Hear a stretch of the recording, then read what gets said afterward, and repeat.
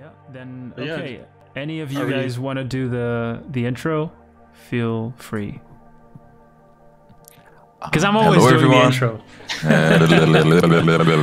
All right, Andre, you you do it. you just cutted my my Let's go. intro, man. I didn't know you Do- were gonna start right away. And hello, everybody, and welcome to Lightshare. Today, no, I'm just joking. Hey, everyone, and welcome to another episode of Lightshare. Today, I'm joined by Dom and Adrian, and we have a very special guest. Today, Josh is joining us. He's a amazing dude that also has a YouTube channel. So, why don't you introduce yourself to our audience, Josh? Oh, my name's Josh. I have a YouTube channel called Embodied Josh, and it's basically been a chronological journal of my art journey from when I started right after I graduated film school until now. Um, with the loose overarching structure being like the steps I'm taking along the way to one day make an anime and an indie game.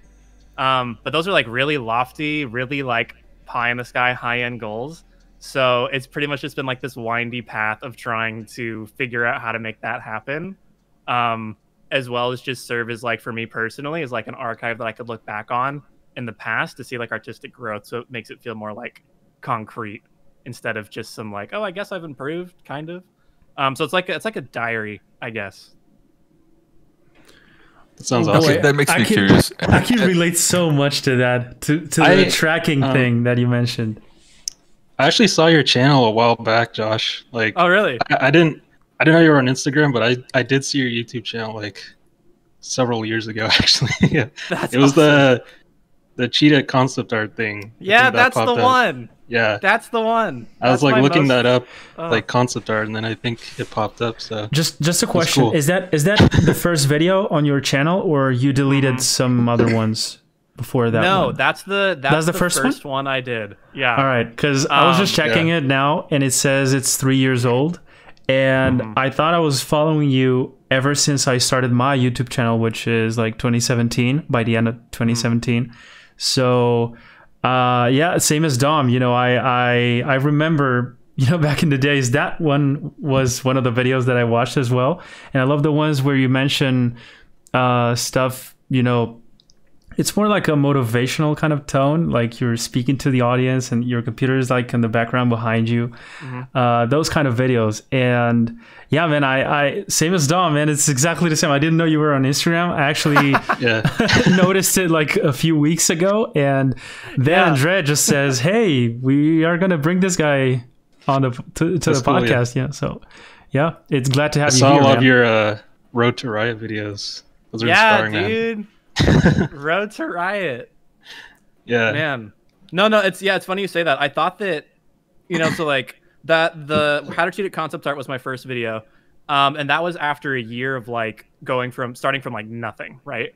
Um, and I started it and I felt like I had to have like this pressure to be like an art god, right? Like if you're gonna make a video on YouTube, you have to be like killer, right? So I was like, I gotta be like Ross, I gotta be like Ross Draws, I gotta be like, you know, like Maciej Kuciara or like Shaddy with like one pixel brush. I gotta be like, I gotta be like, I gotta, you know, I have to be amazing.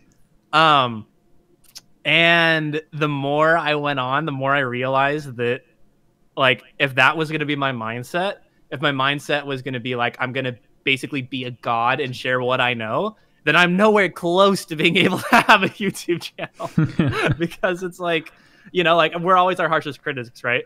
So it's like, man, I don't think I know anything. So like, I, you know, like, so I kind of just dropped the facade of feeling like I had to be, like, have it all together. And I realized that, and this is what was kind of, was kind of scary, but it was like the transition with like, the, you mentioned the videos like with the computer behind me. Those were like my thoughtful Thursday videos where I was basically sharing, like you said, like motivational stuff, like just like mental health stuff that was going on because I felt like that nobody really talked about that.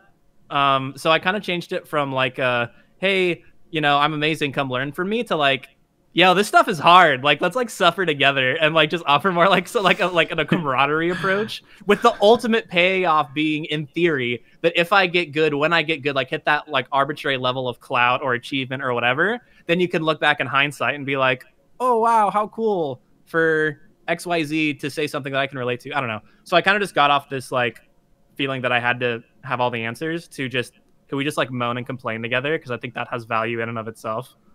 Um, that was that happened like a year and a half in once I realized I didn't, I wasn't like pro enough to give people straight up art advice. Which, to be honest, I'm a little intimidated being here with you guys and looking at your guys' art. And from my perspective, I'm like, these guys are so much better than me. Why am I here? the stuff you guys make. It's okay, so man. cool. There's tons of guys a lot better than us.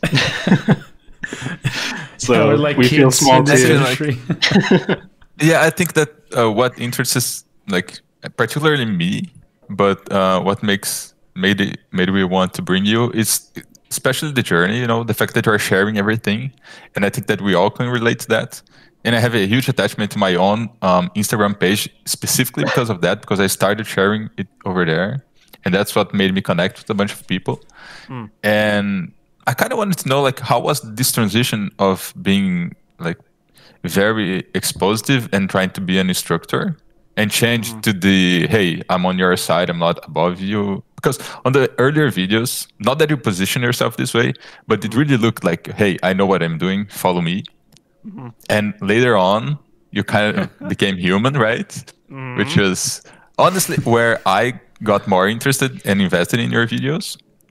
But I wonder if everyone felt this way, or if you have some people that like just let it go and didn't follow anymore, or start complaining about this more human tone and hmm. things like that. I think that, to be honest, so part of it was really simple. I got more engagement when I was more real. So if you're following views just cynically enough, you're like, hey, this is getting more traction. So that that was part of it. But the other part was that I I got tired of every every video of the hey follow me felt like a skit. Like it felt like the and I also I felt kind of fake. So like imposter syndrome times like 10, right? Um where like I would watch a tutorial on like Gumroad or on Learn Squared or you know Schoolism or something else. Something would click for me and then I would want to go share that with somebody else. But then I, I would feel myself being like, how can I explain this in a way that's like not plagiarism, right? Because like because like all when you don't know things, when you like when you can't articulate it in your own words, it's like I almost felt like a sham because I was like I'm kind of outsourcing, you know these these paywall instructions, and then just re-explaining them in my own words. Like I kind of felt like a pirate to be honest. I was like I don't I don't feel like ethically good about this. And that was the thing where I was like, if I can't say this in my own words and like have my own spin, if I can't contribute to this in some way, then I don't think that this is I don't think this is a good like look. Or and like even if nobody knew, for myself, I wouldn't like how that made me feel. Um and just I don't know, it was because of that, I was trying to like, well, what can I add to it to make it my you know, to make it more genuine and to make it not straight up piracy. Um and to actually be something that's valuable. And uh, that came down to well, this is relatable. And so the whole the whole beginning thing was how can I make this relatable? Is I had my what beginner's guide to art, and right now, even now, three years back, that most of the videos there are super cringe for me. But the value came from seeing and hearing advanced artistic techniques explained from a perspective of somebody who doesn't know art, right? Like somebody who draws like the classic like no perspective 2D flat house on a hill with the sun on the corner of your paper, right? um, so then I was like, well, if I'm already explaining it from the perspective of somebody who sucks at art, then why don't I just do that? Because that's more honest anyway, right? So really, cynically, you could say it was views, or even just like like the ethics of it. But what it really came down to is that I, I realized that I, I just wanted to help people, and I, I it felt better to just drop the facade because every time I'd finish a "come follow me" video, I would feel like like I, f- I felt like exhausted of like man i hope that was right. I hope that i hope that wasn't a mistake like you know? Because then inevitably somebody shows up and says hey that's actually wrong. Like so the first video the uh, how to cheat at concept art the number one comment on that video is some dude some concept artist in the industry calling me out and saying how my video isn't exactly right um which i appreciated that should be fine but and if you have How if you how bothered in were you by those comments? uh to be honest, it tilted me a little bit because it felt like a, like again, the pressure was there to have the answer. If I'm saying, "Hey, come follow me," you want to make sure that you're saying the right stuff. So to have somebody call me out and be like, "Actually, no, that's not right," it was like, "Dang, I didn't do enough homework." Like that's embarrassing. Like I feel like a fraud now, right? And like that facade kind of crumbled of like I'm not somebody that you should come follow. I don't have all the answers that I postured myself to appear that I did. Um, but on the other hand, it's like, oh, thank God. Like, I'm glad that somebody at least says something, right? Like, it's better that they at least know the truth now. Um, so on one hand, like, I, I was butthurt and embarrassed. But on the other hand, like, I love the comment and engaged with it and thanked him for it because at the end of the day, the whole point of making the channel is to help people, right? So if he helps them by correcting me, or I help them by getting it right, at the end of the day, people are getting helped. So put your ego aside and just be cool with that. Um, That's an interesting. But it was embarrassing at it. enough. It was embarrassing enough for me to not want that to happen again.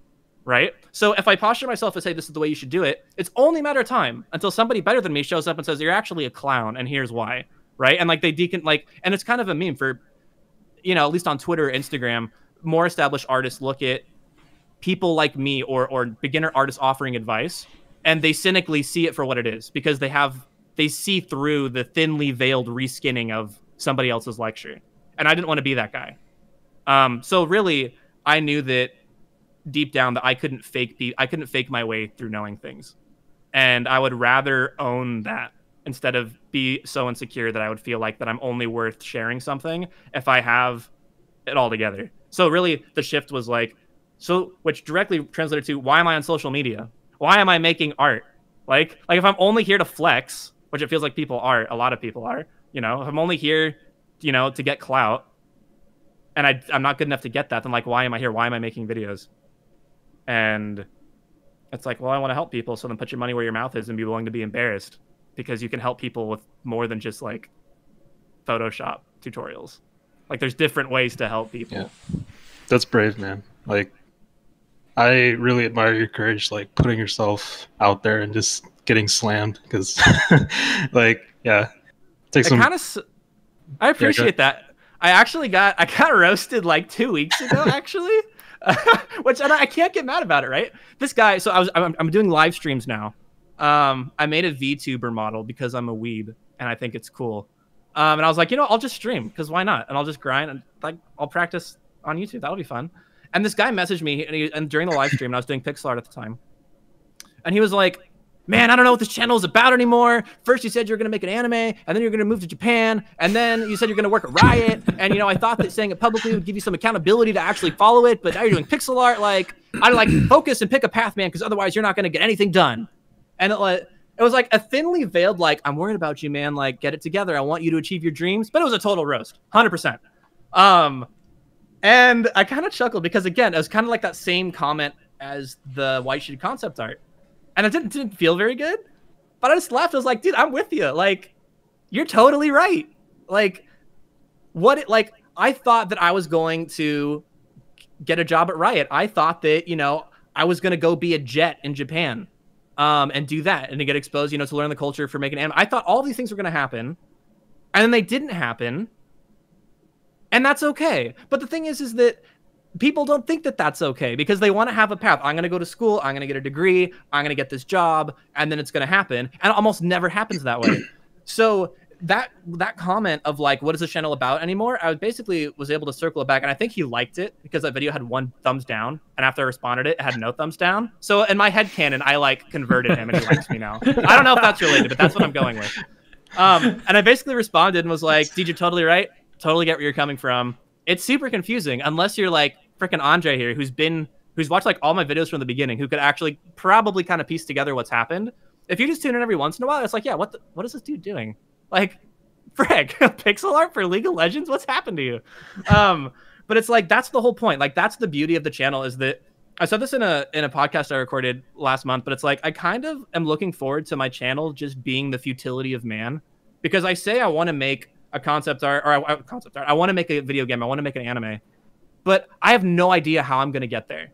And I would be joking if I told you that I knew how it would piece together. Like Road to Riot is a great example of that. I don't even know if I want to be a concept artist at Riot anymore. And I spent a year with the whole playlist grinding to be a concept artist at Riot. Um, or same with Japan. Like on all, I won't kid you. I, I'm studying Japanese in the morning for like 30 minutes a day ish now, but it's really hard to study a foreign language if you don't even know you're going to use it. So I'm sitting here like, why am I studying Japanese? Am I really going to move to Japan? I'm about to turn 26. I have a wife. I want kids. Like my family's over here. Everybody I know is, am I really going to move to Japan? Do I really need to learn Japanese to make an anime? Am I wasting my time? Like, you know, like those kinds of things. And like, I don't know. So he he he roasted me saying you're all over the place, and I basically said, yeah, you're totally right, and that's kind of the point. So if you feel all over the place, then come join me because the only commonality is like because he's the same as me. He has a goal he wants. Maybe he wants to you know be able to draw his hentai. Maybe he wants to be able to draw his you know a concept art job somewhere else. You know he has some goal, and he thinks you know how he knows how, how he's going to get there, but he doesn't have a clue how he's going to get there. He doesn't. He he could get hit by a bus tomorrow right? Like he could get offered something else. Like it doesn't have to be a bad thing either, but you don't really know how you're going to get there. And I kind of get on the soapbox for this like moving around change thing happening because that's what happened to me with like Facebook and Oculus. And it like really like challenged me to be honest. I was going to ask you about the the Oculus thing. Yeah. Yeah, I think I saw you mention that too. Like you got was it like a programming job or something like yeah. that? So what happened was, and this is It this seemed is like kind a of, I- big change in everything. It was. It's a huge change, dude. Um, and I was kind of pissed about it because it didn't go with the plan that I wanted. So I had like two Genesis moments. Basically, it's like defined who I am, like artistically online. Um, the first, well, three, I guess. The first was in film school, when I didn't care about Kubrick or Spielberg or French Renaissance or you know any of the the film junkie watch party Oscar crap that everybody was like huffing. I'm like, dude, I just want to play video games and watch anime. Like, why are we doing like what? Why do you, I don't care about this? So I was in film school with the screen with do I want to be a director, and I was like, well, I guess I should write because if you, the script's bad, then everything else is bad. And then I was writing, and everybody was writing for movies, and I was like, I want to write for anime. So I'm like, I went to college for the wrong thing. My senior year, I'm like pissed. I'm like, I spent all this time learning how to write. I just want to go back and get an art degree. So I graduate, and I'm pissed. I mean, I would do it all again because I still value being able to communicate, and that's what got me the job later. So that was Genesis moment number one.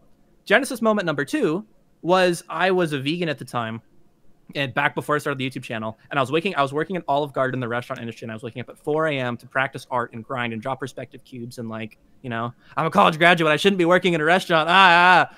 and I, I was making tofu scramble, which is literally just tofu on a skillet with like turmeric, and it tastes like nothing, and it's awful. And I was literally crying over tofu scramble at four in the morning, saying, "This sucks. Like this is the pits. Like I'm in student debt. I'm bad at art. I have nothing to show for it. I'm broke. I hate my job. I don't like tofu. I'm tired. like I was like, this is the worst. Is, is that part the of world. the that, that that part of the hero's journey? You know, where the That's hero is like at the lowest point. And that's when I was like, if nothing else, like I, that. That's that's when I said I was gonna make my YouTube channel because I was like, there has to be other people crying at four in the morning over tofu scramble. Like I know there has to be. Because people don't just, you know, land it right after they graduate art school. Or, you know, like there has to be some level of angst and misery hidden behind the like facade of everything being fine on the internet. Um, and that's when I started the Road to Riot, or that's when I started, you know, art and YouTube and cheat at concept art, Shaddy Safadi, the whole thing. Um, and then the third thing was the Facebook. So I, I I'm, I'm in the industry. I went from Olive Garden to fine dining. I did YouTube because I don't want people to be miserable, and I want to, you know, get better and show people what I'm improving on. But also, uh, let's be YouTube famous because that sounds fun. Like, who wouldn't want to be a YouTube celebrity? That would be lit. So, and I was also trying to like trying to make it as a YouTuber, and I had this fantasy, I had this dream. My plan was okay. Uh, maybe if I do this long enough, if I do enough ad campaigns, I'll make it as a YouTuber, right? And that's my plan. And the whole thing is, I'll stick it out in the service industry. I'll stick it out being in fine dining and wine and whatever else. I'll, I'll just suck it up and grind and grind and grind and grind and grind. And I will either get really good at art and be a concept artist at some industry job, Riot, or I'll get really good at art and become a YouTube celebrity like Ross Draws. And that was the plan. And then so suck it up. Life sucks, but you know what? This is this is what I think I'm gonna do. Um, and it was this mentality of like, I'm gonna make it. I'm gonna get there. It's gonna be fine. And then all of a sudden, I get offered a job at Facebook for technical writing, because what hit me was, was at Oculus, which is under Facebook now, which is another conversation we can have. But um, it was like I was pissed because I felt like I wasn't allowed to be pissed though. Because why could you be pissed that you're getting offered an industry job at Oculus? It's because it's, it wasn't what I wanted to do. It was it was for making videos and being a technical writer. I'll be honest with you, video editing blows. It takes so long. It's so monotonous. It takes forever, and it's just I've done it for ten years. I've done it since I was in high school. I, oh, I don't want to edit videos. I want I want to do art. I want to like I want to I want to do, do these other things. Um, so to get a job doing that, I was just pissed. Like I don't want to do this. I would I would rather do something else. Like to be honest, I, I started streaming and start stopped making so many videos on YouTube because I don't like making videos. I stream in the morning before work because I don't like making videos. I moved to Twitch and stream games because I don't like making videos. So I got a By making videos, Facebook. you mean editing them, right? Yes, that's it. Yeah, somebody else can edit. Like balls, man. Because what hit me It was helps that- so much. Yeah. I like, so I was in the industry, and I in uh, industry clarify terms. I was in the restaurant industry. I was in the fat. I was in the restaurant industry from Olive Garden to fine dining, and I have this mindset that, like I said before, if it's not my dream job, it doesn't matter. I'll suck it up. I'll grind it out. I'll just work here, and then one day I'll get out, and it'll, it'll be worth it.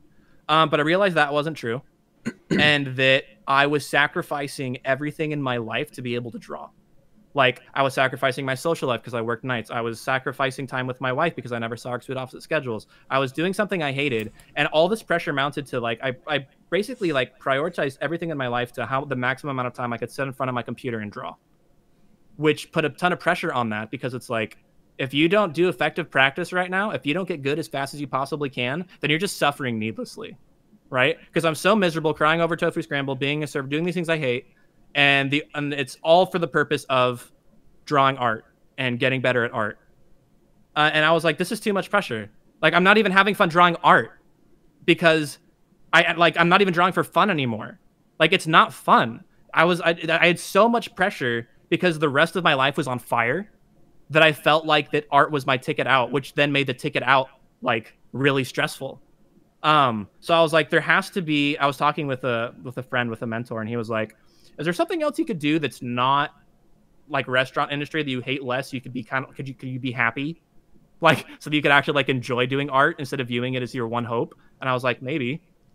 But then that was frustrating because it was like, well, I don't have any free time, and the free time I do have, I'm doing art, which means I would have to put art on hold to learn a secondary skill to do a job I don't want to do. That sucks. Why would I? Why would I want to stop doing art, which is what I eventually want to do, to go learn to do something else? So like, I was like, well, I know how to video edit, so I was like, I'll look, I'll look for video editing jobs. Um, and that didn't get anything out.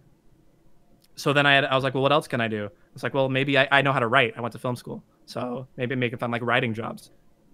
That didn't go anywhere. I was like, well, is there something for for writing and videos together? And my buddies, that's basically what technical writing is, because it's 2020 and people don't do documentation anymore. And what technical writers do is that they basically write instruction manuals and Yeah. documentation for people inside companies to learn how stuff works. Um, so you basically make videos explaining how things work because it's 2020. Um, but how do you show that? Well, I have a YouTube channel and I learned how to make websites. So I put art on hold and I, I made like WordPress websites and learned about GitHub and did all these things I didn't really care about. And I, I was just doing it like as like a hail mary, still hoping for my plan. I'll make it at Riot or I'll be a YouTuber or a Twitch streamer or whatever. And then it actually worked out, and I was like, "What? Should I be happy? I should. I should be happy, right? This is a good thing because I'm out of the restaurant industry, but it's not what I wanted." And it was basically like getting a job at Facebook challenged me so much because I it wasn't part of the plan that I wanted, and then it made me feel like a moron because I'm complaining about getting out of the service industry to work at Oculus. Like, who? You're so stupid. Why would you complain about that? But I was genuinely pissed because I didn't want that to happen. And then that was that was in October of a year and a half ago uh, of 2019. October of 2019 that happened.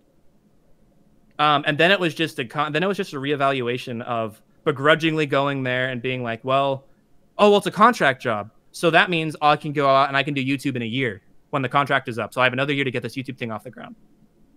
But then YouTube wasn't growing, and it, you know I realized that I was too sincere on YouTube to like I wasn't willing to sell my soul for the algorithm. I wasn't willing, you know, either draw porn or be funny. Like my journey isn't YouTube famous material, at least not yet, maybe. So I was like, well, okay, maybe YouTube isn't going to happen. And then I, you know, job opportunities happened with an Oculus, and doors started opening. Hey, do you want to do this? Do you want to be a full time position? That? Do you want to transfer and do this? Like really cool things, meeting really cool people. And I was like, shoot, am I stupid? Should I just stay at Facebook? Should I like, should I like not make an anime anymore? Like it challenged everything I knew. And now, a year into being at Oculus, being at Facebook, uh, and not having everything on my life burned down, and allowing art to not have that pressure because the other parts of my life are fine. It w- it's been interesting because I can do art for fun now at the cost of pushing out my timeline of, achie- of achieving my goals. And I'm still right now not really sure how to process that because it's like I, I'm a hobbyist 100% now. I went from being starving and hungry and on the grind from when I was in the service industry, and everything was focused on art and my whole life, but what the cost of everything else burning down. Now everything else is fine. I'm making more money than I thought I ever would. I can like I have the stability to consider raising a family and having a kid. But then I'm still looking at art and I'm like how do you manage a full-time job in art now? I don't know. That's hard. What does Yep. that look like? I don't know. So I've just been I still want to do that. I still want to make an anime. I still want to make a make an indie game. But it's just been the Facebook thing humbled me to the point where it's like because I always thought that something you don't know what's going to happen. You could get hit by a bus. I said that right. That's obviously negative, right? At the same time, you don't know what could happen. You could get a job at Facebook. Like both of those exist, and the and that duality because I feel like everybody already has the default cynicism of I could get hit by a bus. Oh haha, whatever. Like take don't take each day for granted. Like every motivational paster in the world, paster, right? Your loved one could die. Cherish your moments with them. Like everybody kind of has that sentiment. But I feel like that we're so cynical as a society, we don't really think of the you could also get a job at Facebook category. People are like, "Ah, nah. I- I'd rather prepare for the unexpected bad stuff, not the unexpected good stuff. So to get a really unexpected good thing challenged me way more than the unexpected bad stuff. It's like that quote where it's like, you know, what if I fall, right? Like, what if I fail and like they're on the cliff? And it's like, yeah, but what if you fly, right? Like literally like that that duality of like it takes just as much faith to think that something could go wrong as it does to think it's going to go right. And I think for me, the biggest encouragement the past year and a half has been trying to like push that ideology of like, yeah, life kind of sucks a lot of the time, but things can also go good in ways that you don't expect. And that's okay. And like kind of roll with that. And that's what happened to me with the Facebook thing. To where now, I'll be honest, I, it would be cool. To, I'm still a contractor. My contract ends at Facebook this October. And it's kind of all or nothing. I'm either going to get brought on full time into another role or I won't be able to work with them anymore because I've reached the cap because my contract got extended the maximum amount of times. Um, it's looking well. I'm hoping I can stay. It seems to. I'm not going to promise anything. That's, that's our, but you know that that that's the situation. So now I'm looking like, well, what am I gonna? What's gonna happen in October? I don't know. I don't know. What's the future? Am I am I gonna make a YouTube channel or or am I gonna make a video game or an anime? I don't know. I'd like to, but I feel like that to wrap all the way back to your original question of how did that transition happen? The transition happened is that I the plan for my life fell apart, and in some ways it's better than what I planned it to be. To where now I don't know if I want to be a YouTuber or a Twitch streamer. I don't know if I if that's something that I would want. Um, now seeing what it's like to have this, you know, being at Oculus and Facebook or whatever, um, and basically just saying it's I, I, the value I want to contribute and bring into the world is that it's okay to not know what's going to happen, and that good things can happen just as easily as bad things, and don't take yourself so seriously because you really you have no idea what's going to happen with your life. So just like Absolutely. don't make sure your life doesn't burn down so you don't hate yourself which is what i did in the restaurant industry and structure your life in such a way that you can just keep going because art's too long to sprint because i spent the past three years trying to sprint art trying to get as good as fast as possible because i felt behind because i graduated at 21 and was starting art at 21 with a degree that wasn't relevant so i was trying to sprint and catch up and now i'm here and i'm like well i guess i was never really behind i guess that whole notion of like the linearity of my life was like wrong so I don't know. If I if I could get people to try to relax about their their plans while still enjoying what they're doing, then that's a win. Um, but that's too sincere for the internet. That's not gonna get me YouTube famous. That's way too like feel good, like wholesome, like oh. That's like like for like the, like the the people crying over tofu scramble, right? Um, and I realized that that like embodied Josh, arm like my heart, like isn't YouTube famous material. At least not like currently and I had to be okay with that. Where it's like, is it okay if I make this content that never gets millions and millions and millions of, of views if it helps, you know, like this many people, right? And I was like, well, sure. And it's easy to say, well, sure now because I have another job that's paying my bills. It wasn't easy to say, well, sure when I was pinning my hopes on Embodied Josh blowing up and being what pays my bills and being, you know, my the big thing. So in some cases, getting the Oculus job has let me be more honest with Embodied Josh stuff because I didn't feel like the pressure to have to sell myself for the algorithm. Right. Wow, that was amazing. like I haven't said anything because I was talking. I know it was. I was just like I'm so in focused. the whole dude. story. yeah, same. it's so good. But Dude, yeah, I like, don't know. Uh, you're you are a sto- storyteller for sure, man. Like what the? loved it. Yeah, That was I don't even know what what to start with. I have so many things I'd like to say, but I guess Yeah. the first one would be that I'd like one day to get to this level of flow, you know, that you have, like going from one thing to another and just narrating the entire thing. Plus, you speak super fast, so it's Oh, it's sorry, sorry. That's actually no, no, advice. no. I've had it's it's I'm not sorry. a bad thing. I'm I'm just saying, you know, that I, I wish I could get to that level one day. Because that that was I've- so cool, dude. And I'm glad that you, you you mentioned so so many of these things that I I, I think we all three can relate to. Um dude, I I don't know. I have so many questions right now, but you you've said so many things Yeah. that I should have I should have been taking notes. But I'm I'm glad that you never lost sight of your goals, right?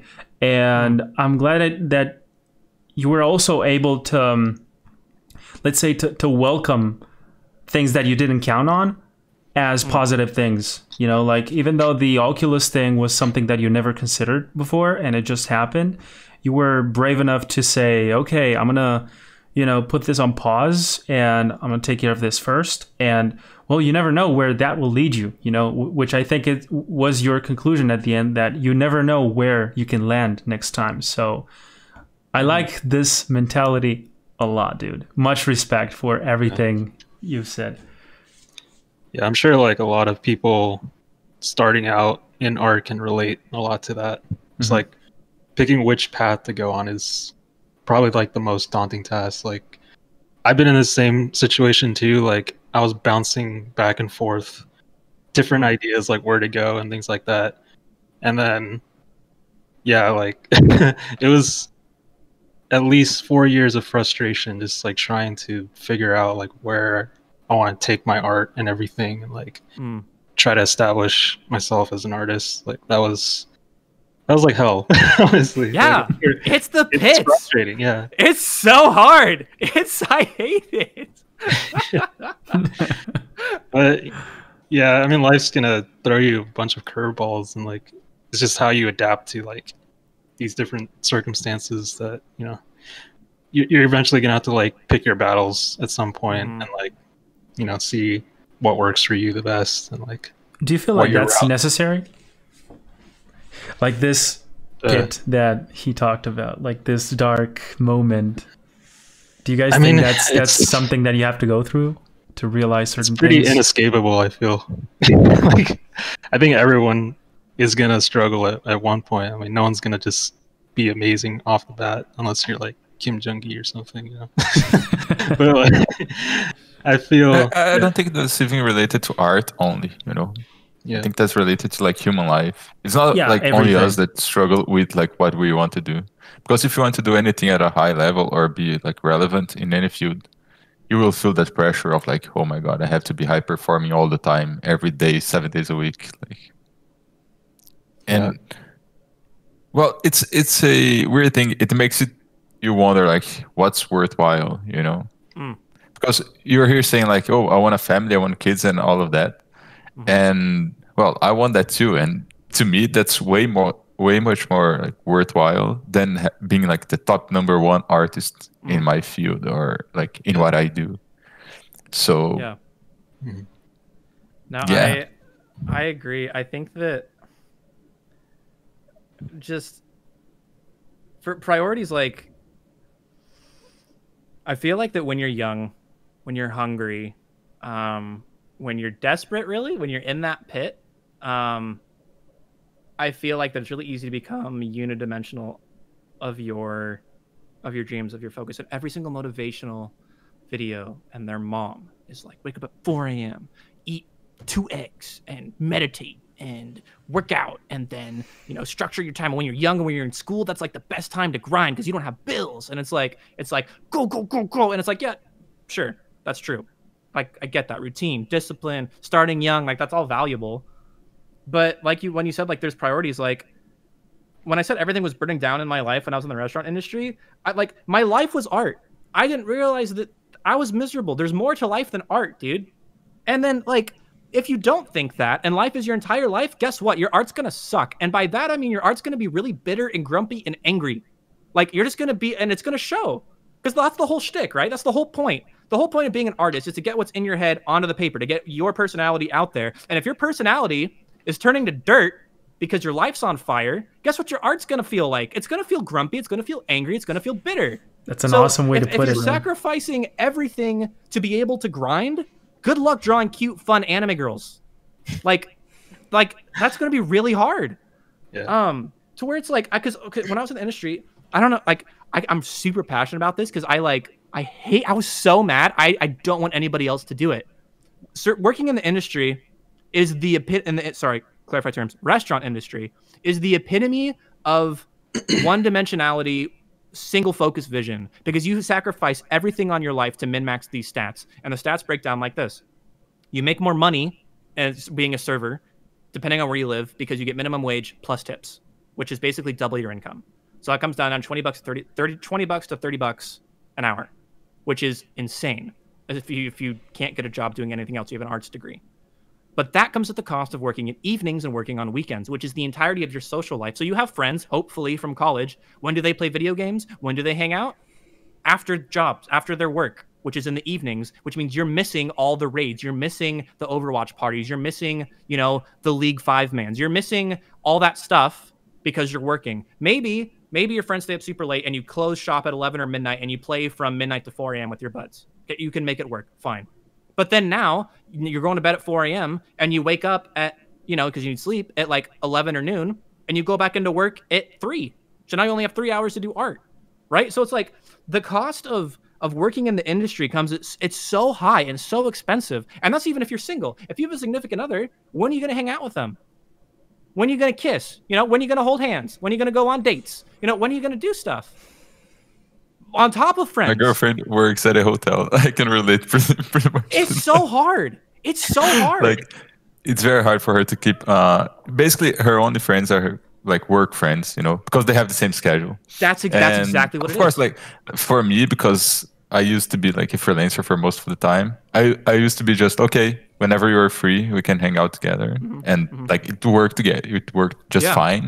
Yeah. But um, when I was working like full time on a regular schedule, mm-hmm. it was we barely saw each other. You know, it was basically like every minute that we could like hang out together, we would take that chance as if it was our only hope because. Dude. Well, oh, it was, you know. That's exactly and, right. Um, My wife. You can make it work, you know. Like you have a wife, of course, but it's it's freaking hard, man. Um, and it's not to make her feel bad or anyone that works oh, yeah, in yeah. The, in this industry feel bad. You know, that's not the case. But like, be aware of what you're paying for your job because, well, it's the same thing for art. You know, um, you will sacrifice a lot to keep a job, no matter where you are. Like, it turns out that the in the service industry, that's the case. You know, you sacrifice your, most of your time or what would be your free time in social life. But um, when you're accepting a job like in art industry, be aware that it will not be like your dream job. They are you come in, they ask you, hey, draw whatever you like. That's not the case at all. so be aware of what you're trading off for those opportunities, you know. And yeah, that's basically it. Yeah, she my wife was a nanny at the time, um, which was regular hours traditionally, like morning to evening. Um, and she was also getting her she was going to school online at the same time. So she would go, she would work in the morning, and while and so she would be gone. So I would have the house to myself, the apartment to myself, my 500 square foot apartment to myself, and draw. And that was like that was like my that was that was the high pressure pit I was in. And then she would stay up and do homework until I got home at 11, and then we'd have like an hour to hang out until like midnight, because until she had to go to work and wake up at like six, and I'd have to drive her to work because we only had one car So it was just like I'm I sympathize with you a lot. It's hard. Even now, like at Oculus though, like working nine to five, it's the opposite of that. Where now it's like, shoot, how do you managing work, social life, and love life, and ambition? That's a lot. Yeah. regardless of what job it is if it's if it's industry if it's riot if it's you know it doesn't matter it doesn't matter the company managing those four things is exhausting to where now it's and it's so exhausting it's making me question my ambitions of like can i roll in my ambition of making an anime and an indie game into my job at riot or sorry into my job at oculus? Like like could i can i can i like fold that in? Because like it gets That's people always talk about a, like a side hustle right? Side hustles are get get old. Like they're expensive to maintain a side hustle. So mm-hmm. i don't know like you said like when i was in the industry in the restaurant industry my my my friend my social life went down the tubes and they're like we didn't really see you hardly ever. And i was fortunate enough that uh, they were like high school and you know some college friends like they were older they were able to like stand that test. But you said i, I had to choose i had to choose my wife a lot of the time because I, I didn't I, I never had a time to see anybody. So it's hard to balance all the things that you want to do if your job isn't feeding directly into your long-term dream which i guess the only sentiment i have there is that if your job isn't feeding into your long-term dream then the the in my opinion and people can disagree with me and that's fine um i guess it depends on everybody's situation but if you're if the job you're currently in doesn't fit into your long-term dream then your long you have to be okay with your long-term dream taking longer because if if you try to speed up the long-term dream you have to start burning other things in your life to fuel that fire which then is just burning the candles at both ends. It's only a matter of time until you you know everything sucks again. So for me like i'm looking at that it's like well okay i have time to hang out with friends. I have time to do this podcast. I have time to you know do this. At the cost of what? I draw art for an hour a day monday through friday. That's five hours a week. That's not nothing but that's not a lot right? Mm-hmm. Don't kid yourself. Art's hard. Yeah. how long is it going to take for me to get good? Probably a while. Does that bum me out? Yeah do i feel the temptation to not have date night with my wife to practice? Sure. Do i have temptation to slack off? Because all we're all remote now. Do i have the temptation to slack off and do work do less work at oculus or something else to do art? Of course. Right? Like so like having to be okay that it, your dream could go longer that's hard. And so, some people some people that that's too hard so they sacri- they make those other sacrifices. And I, I i can't necessarily caution against that because that the more you draw the faster you'll get the more you'll get there. But i guess it's just a balancing game of how much are you willing to sacrifice for speed of reaching your goal? Because you don't want to show up and have everybody in your like not have any friends not have any intimate relationships and just be bitter and angry. So it's a balancing act and it's one that i'm still trying to figure out now. And it's hard and i feel like i feel like anybody with an ambition regardless of artists anybody who has a dream that's not directly what they're doing right now that's hard it's really hard Yeah, I definitely agree. It's like all or nothing, pretty much. But at the same time, like, also, yeah, it's hard to not be like one dimensional too. Like, trying to, like, picking a path is definitely like a hard route. But obviously, like, when you go down the art path, you want to explore other things too. Like you said, you know, there's more to life than art. Like, I wanted to like get into coding actually recently, Hmm. like do other stuff like other than Yeah. art, so I can like mix it all in yeah With- like my current art journey. So it's yeah, you have to kind of like pick and pull like certain things from life and just I don't know. It's it's just gonna be like a melting pot of things. It's not gonna be always just one thing the whole time. I feel, but that's what makes it interesting. I think. So- Yeah, and I guess some of that is what we see on social media all the time, which is like, Mm. oh, this guy made it like in his 20s because he dedicated like 10 hours a day during yeah I don't know, 10 years. He started when he was five, and he's like, his dad was already in the industry, so he taught him everything. And you got to be grinding all the freaking time. Otherwise, like when you turn 30, you actually die. Like, you, Yeah. you don't have 31, you know, you will actually die. So, whatever you achieve by then, it's what you like, whatever happens after you- that doesn't That's count. that's the deadline. You know, 30 years Yeah. old. yeah, exactly. Yeah, Actually, like it was 25 until I turned 25. and then I Yeah. realized, okay, I didn't achieve anything yet, so let's push the the goalpost. But um, I mean, you work and so hard. still. All, Oh, go ahead. go ahead, man. Go ahead. I was just gonna say, like, yeah, you might work hard all your life and then look back in the past and be like, where did my life go? You know, and it's like, that's yeah, it's hard. It's easy to get like tunnel vision. I feel when you just barrel down this grind path of like nonstop work. It's like, you gotta take some breaks. You gotta like enjoy the And I feel, you know?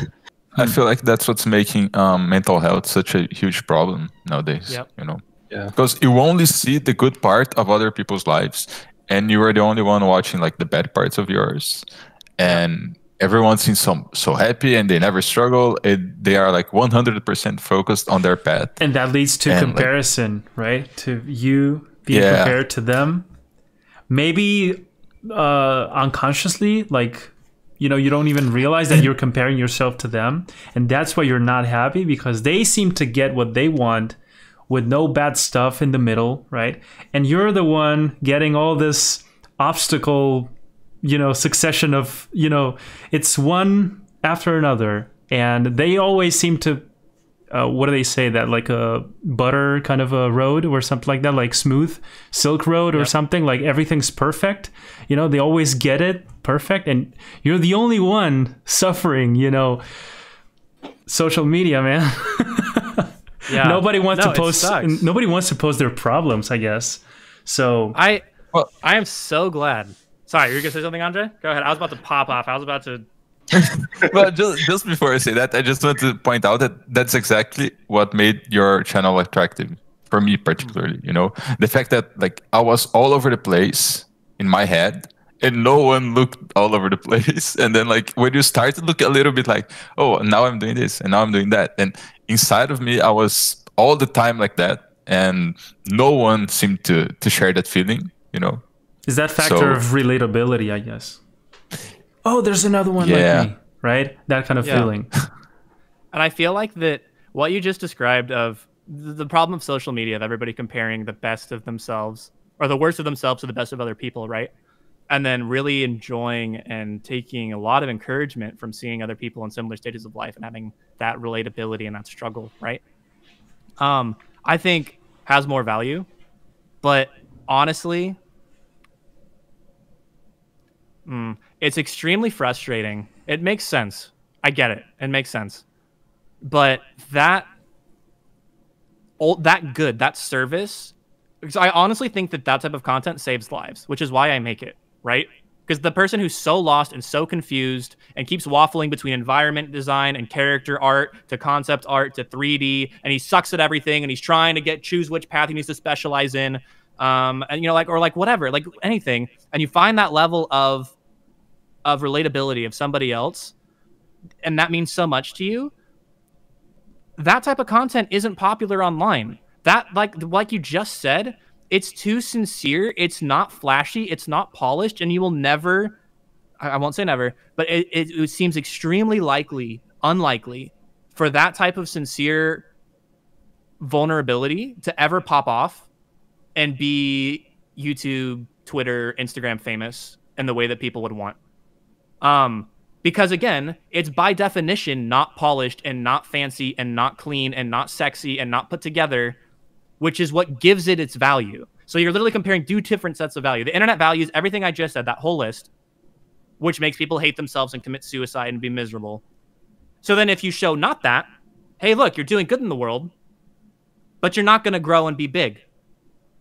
So which is it? And like that, what you just described, it hits me like it was. I really had to struggle with that because I can't it be both? Like, man, can't can't you help people and be encouraging and also be famous right like not not not because you like you're ego tripping or you know you're wanting to you know you have a big head but it's like if you're talking we talked about the pain of your life's goal not being correlated to what you're actually doing i think that it's because I, I i would kind of critique myself like josh are you just are you just a narc dude like why do you want to be famous on the internet like what calm down, Josh. Like it's okay to not be a celebrity. What is the matter with you?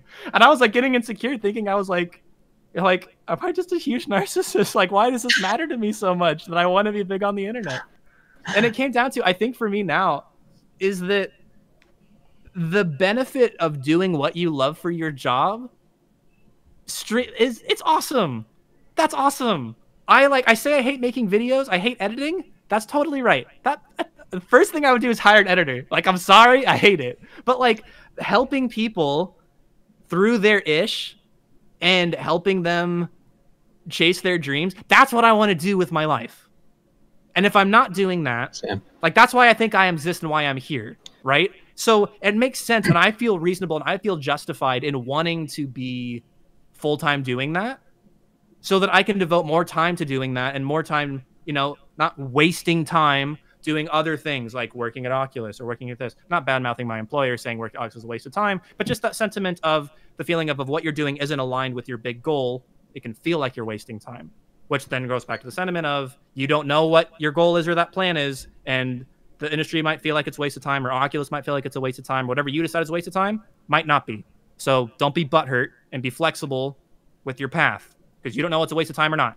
Same with environment art, concept art, ZBrush, whatever. Yeah, if you specialize in one, you'll get better, but it's all going to help you.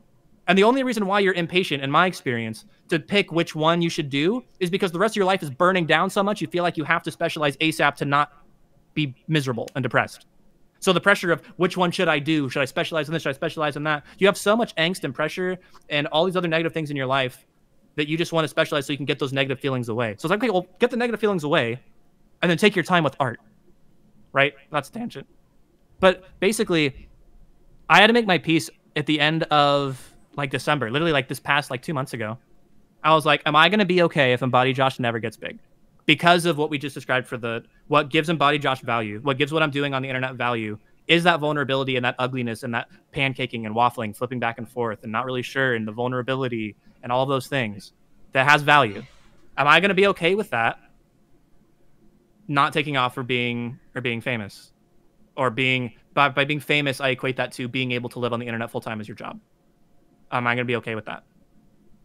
And ultimately, I had to say yes, um, because I think that that does more good uh, in the end.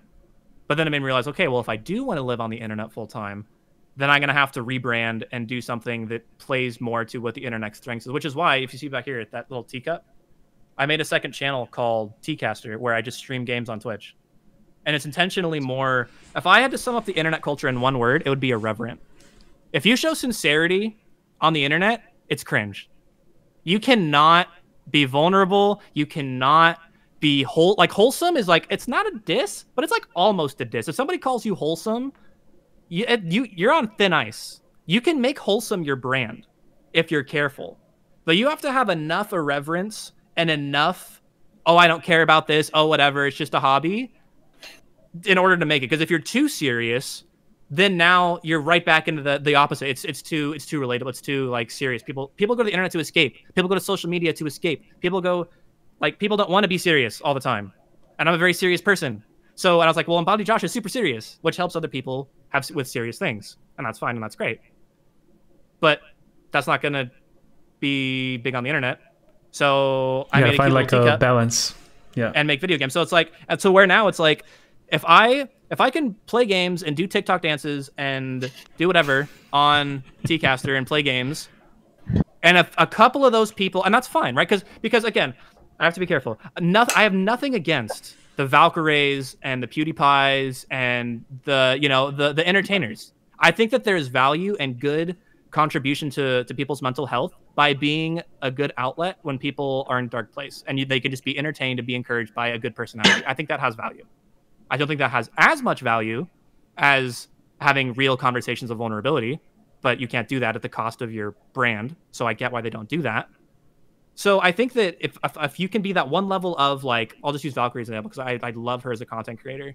If you can, if if if Tcaster could be like Valkyrae, then Embodied Josh can stay the wholesome, cringe, sincere, five thousand sub, baby, small, personal YouTube channel that a handful of people would trickle to, and that would be worth it to me because that would have value in and of itself because entertainment does have value, you know, and laughs do matter. It it's it pays to have people laugh. So like that's okay. You can be funny on the internet and not be serious all the time.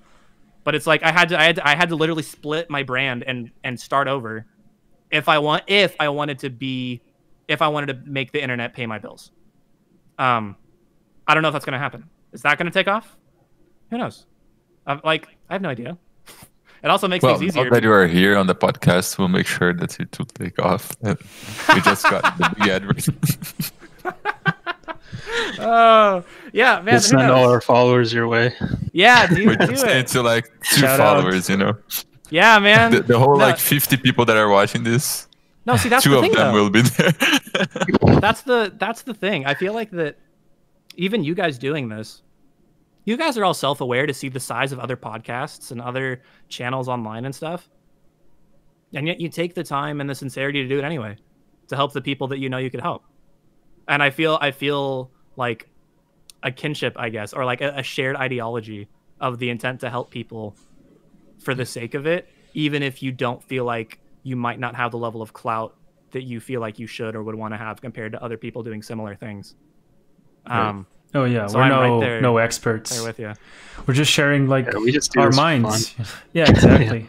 We're just sharing our experience so far. I think I feel that's how most people start. They just do something they love for fun, and then eventually, like, it grows into something a lot bigger. But you know, our intent was never to like, yeah, we're gonna make this podcast, so we're like super huge with the other ones. But um, but yeah, sure. we, yeah, we we do want to help people and like help impact people. So that's probably the reason why we're doing this, and we like to keep it fun, keep it casual. So it's not like that's that's where Andre comes in. so he, he levels Comic up. relief. well, at least at least I have one function, you know. so I'll not complain about that. But, I yeah. think though that I think that starts like this, beginnings like this, the sincerity like this. I think that I love when if if people like when when people content creators start like this and then they get big and you can go back and see stuff like this in time it lets you see like who they really are right? Before they have to be really conscientious about their brand management about the jokes they say the things they talk about keeping it lighthearted on purpose right? Like before before you see the the pr the necessary pr kick in once they get to that level of clout right? You get to go back and see their old podcast videos that they were on or their you know they see, see their first couple uploads and you kind of get a glimpse into who they really are before they have to put on the social media armor and like you know Yeah. play the game I totally get you. yeah. Yeah, I feel like that's what makes it less relatable, you know, on big podcasts. And I think I was missing that on content. And maybe that's why it was more relatable when you started to be more honest, you know. And it seems like every art podcast out there, it's someone who's like super high end professional. Mhm. And then like when you are at the very like beginning of your art journey and you listen to a bunch of people talking about things that you should be like conscientious about and how to deal with the professional life. And well you don't even know how to draw a line straight yet. So how, how will you relate to that if there's not a mid step in between you know or someone who maybe he, he's ahead of you but just a little bit ahead of you? S- enough to make you like okay I, I cannot achieve that guy but this one in the middle maybe i can get there so I, i'll aim for that one while keeping the bigger one in mind because well we all know like Feng Zhu, right? And we all see mm-hmm. like he, him drawing, and it's amazing and inspires everyone. But like when you see him drawing like for the first time, there's no fucking way in hell that you are going to achieve that. You know, that you were like, okay, he's on another level. I need to draw a straight line right here. So one step at a time. And I, in the beginning, I felt a little bit lost. You know, there there was this one guy that uh, approached me and he kind of guided me a little bit, not uh, holding my hand too much, but gave me like some steps that I could follow. And without him, um, dude, I don't know. Like, I think I would have lost hope. You know, if it wasn't like for someone that g- gave some advice to look, um, you are very beginning. You're very in the beginning of your journey. So keep calm. I know that you want to achieve the higher goal, but like you will not get there that fast. So take it slow anyway. And there's not enough people talking about this, I think. And I feel like between the three of us, we used to talk a lot about those tiny steps every week, right? eh, and to Josh, like that's one of the reasons why uh, we started this. It's because it's conversations that we like. We were having them all the time already, so Yeah. I, I feel like I'm going through th- through therapy this episode. You know, listening Yeah. to like all of these, listening like to Yeah, it's all I'm of gonna this watch- I'm life gonna- advice. I'm gonna watch it again Yeah. for sure.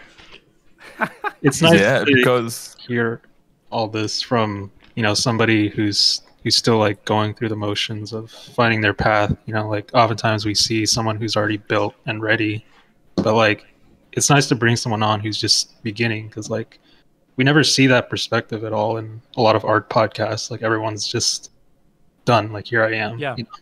it's those imperfections that is what makes it a lot more interesting because uh, there's there's like a quote or something that said like someone whose journey is already finished is not that interesting than someone who's you know still in the process something like that. I don't know. Yeah. But- I feel, I feel like that it's that. I feel like th- Yeah. th- Because they're only but- sorry. I feel like they're always in, in process, you know.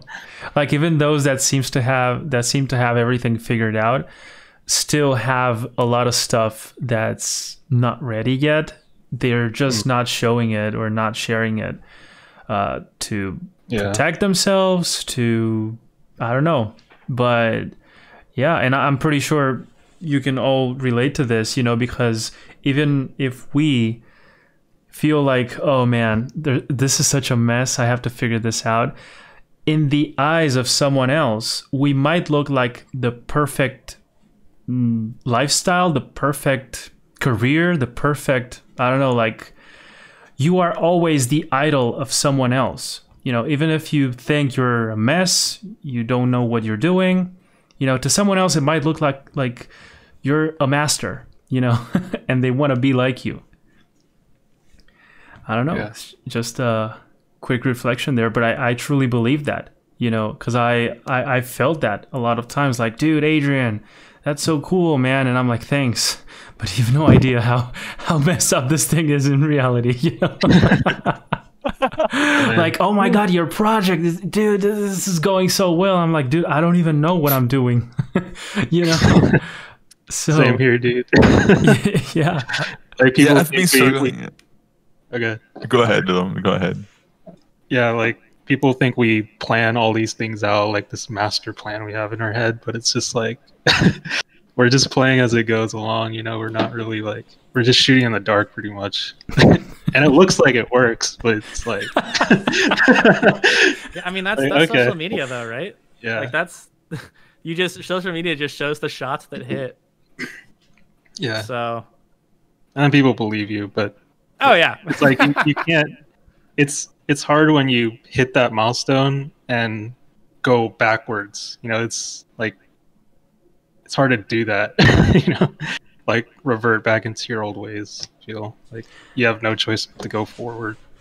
But it's like losing your professionality or guess or something like that. Like people are afraid to go backwards so they Yeah, have to post the I- good stuff I think I'm I'm still kind of figuring out um, my stuff because, for instance, I wanted to show this level of transparency. You know, I just want to put myself out there, just the, the, the way you did, and I came to this conclusion that you know people don't like to see someone doing bad. For instance, you know, like, mm-hmm. hey guys, I just had this problem. I'm trying to fix it. This is what happened.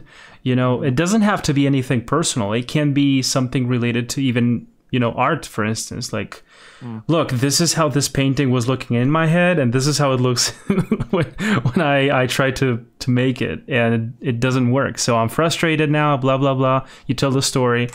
And at some point, I came to this conclusion that, you know what? What if they don't want to see this kind of stuff? You know, what if they don't want to see the bad part of this? Like, why would someone want to see the bad part of it? They they they want to see the cool stuff, right? They want to see the the victory. They don't want to see the failures. So why should I put that out there?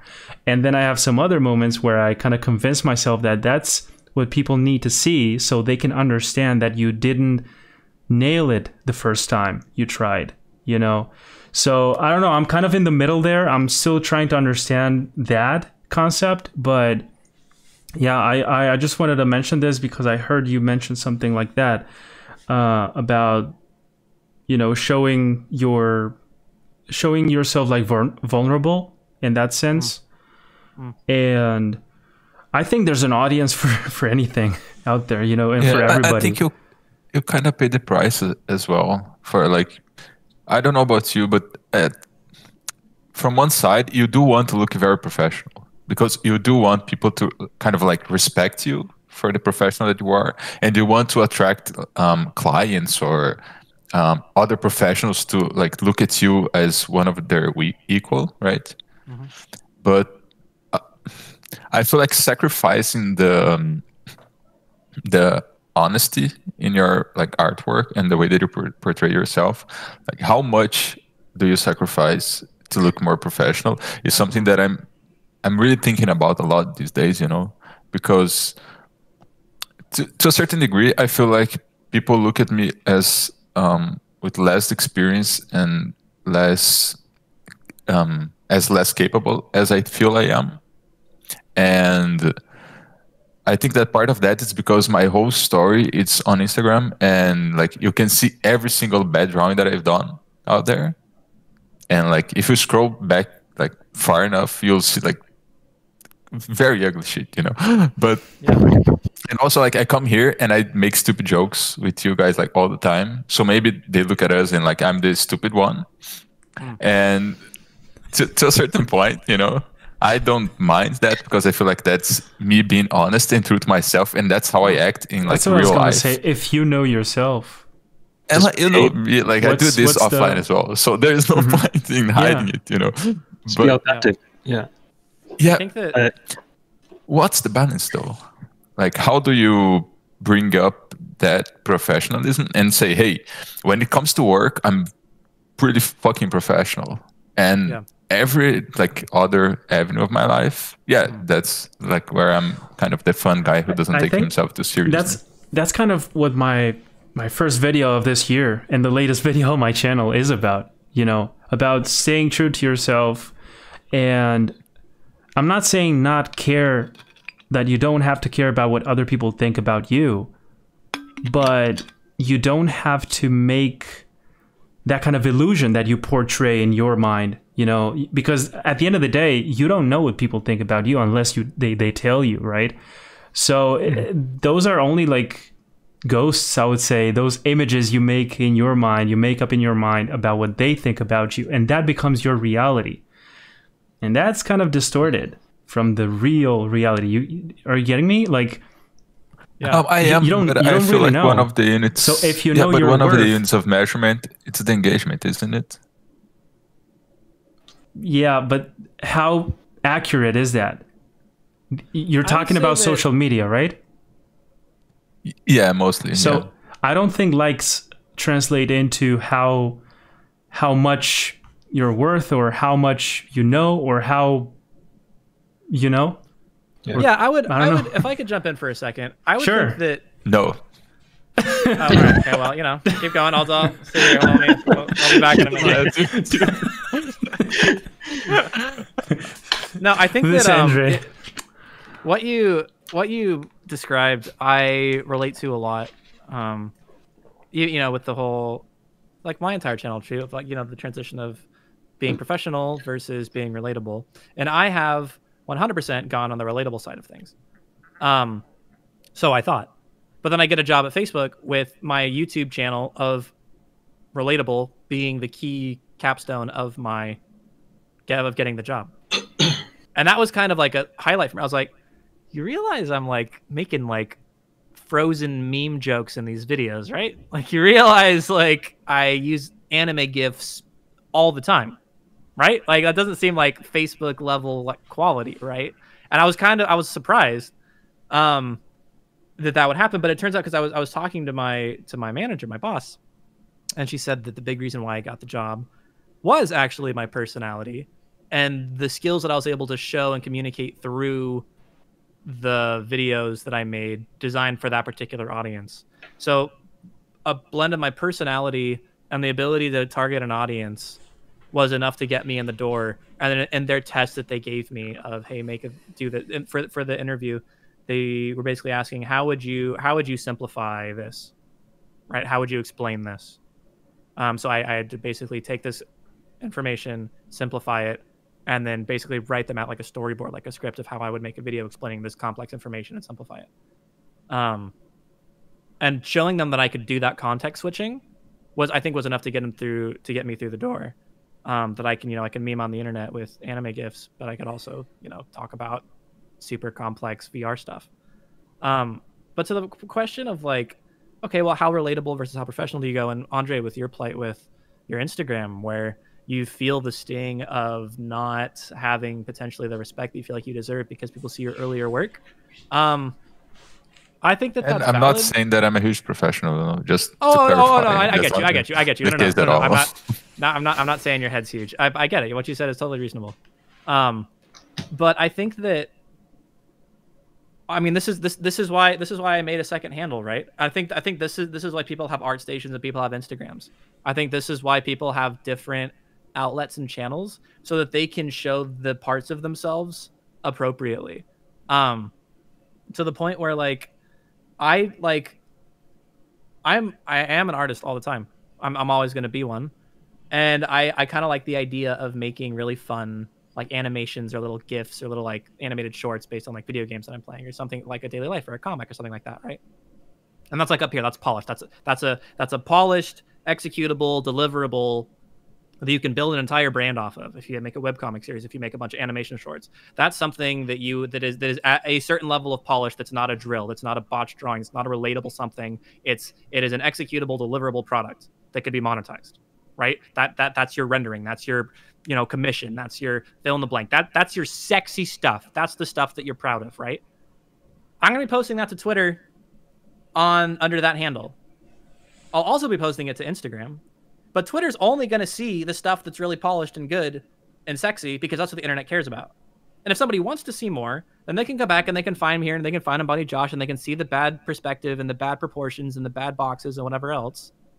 But I feel like that I feel like that if you're if you're going to make it as a professional and get the respect that you genuinely authentically deserve, not because you have a big head, and which basically comes down to brand management, I 100% believe that you have to have your own separate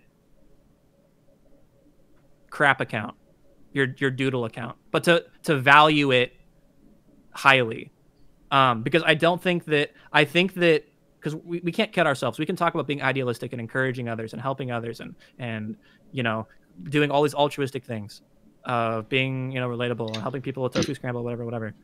But at the end of the day, people are shallow. People don't have time. People are cheap, and you know it can be hard, especially as a freelancer, to make that bread.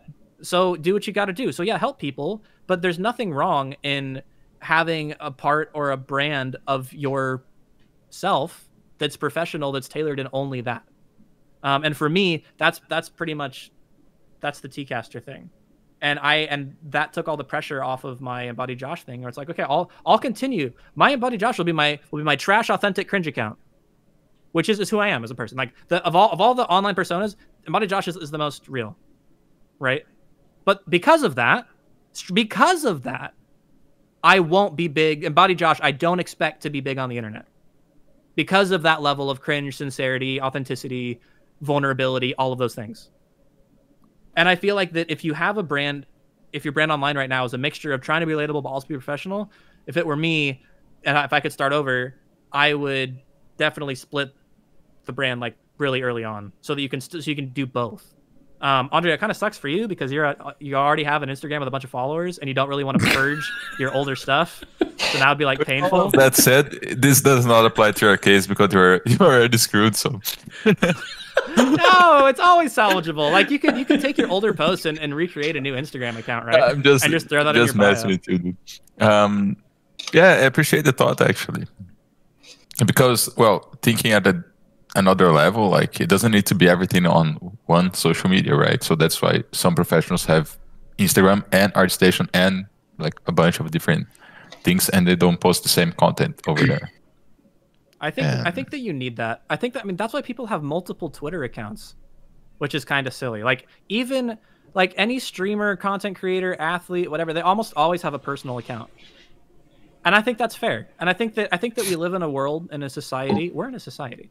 We live in a society that it's expected and okay for people to have a personal account and people don't really get per, you know now if you you know shout racial slurs on your personal account or you know do really sketchy things and bad things on your personal account yeah it'll it'll it'll trickle up to your main account but i think that at least in internet culture it's expected and okay and nobody's really surprised if you have a more personal account where you post your more personal things separate from your main sexy brand that you like are trying to make money off of. So i think that i think that that's probably the most straightforward best of both worlds way to go about helping people while still being able to flex and still be able to actually show that you're you know i don't want to say worthy of being listened to but if we're being honest my story has a lot more credibility. Your guys' story has a lot more credibility, and your words have more weight because of the accomplishments that you've that you've made. Like my story hits different, in my opinion, because I got a job at Oculus, and because I'm not still in the industry in the restaurant industry. I still think what I say would have value, but I think that it would show that at least I'm do I'm the fact that I made it to Oculus and Facebook would suggest and give the impression that I'm doing something right. The same for you guys. You the dog is so cute you would just came you in. know it gives the impression that your that your work and your words and your practice methods are working because look at their art look at the clients that they've worked with look at the stuff that they've done. So and so that's just human nature. I don't think that's a bad thing. And if anything it just holds you accountable because if you if you talk all this crap but your life doesn't reflect it then people aren't going to trust what you say. So i think that I think that having that crap, having that having that flex, having that brand for me right now, it's oh I work at Oculus. Oh, for you guys, it's oh you know I, I work with these clients. Look at my portfolio. I make really cool art. Right. I think being able to have that sit on its own shelf and be able to own that and have a healthy amount, a healthy amount of pride and respect for yourself for hitting that is fine. And then you can shit post and you know do your motivational, be vulnerable or whatever on your on your other one. I think I think you could probably get the best of both that way. That's what I'm currently doing. I have a separate account for just my personal blog. But for that, like I don't care if like it blows up or anything. That's just a way to express my true self. that, Exactly. like, no one else sees. So Okay, Adrian, we need to to launch new accounts as well. We're the only ones. Yeah, I, I. I don't know what to say on this topic because I've always felt like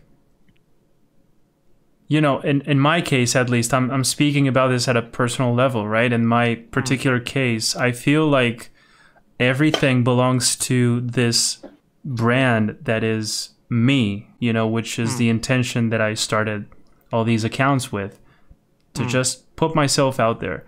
That's why my YouTube channel doesn't have like I actually changed the name, you know, from the nickname that I had before to my real name because the channel is not necessarily only the art I make or you know any kind of thought that I have or you know it's me. It's who I am and uh, my intention was to to be me you know as much as I can and yeah and share as much as I can about that.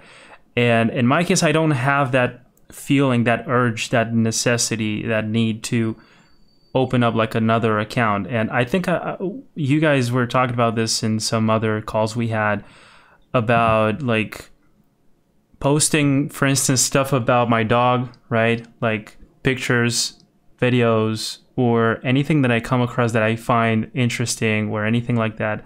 They were like dude the dog is part of your your project man. I think that's entirely fine. You know you don't need an, another account for that but I, I definitely see what you mean um Hey. yeah go ahead Yeah, I just um well, I feel like I've been bringing up this subject a lot lately. Like I think I did it on the last podcast as well.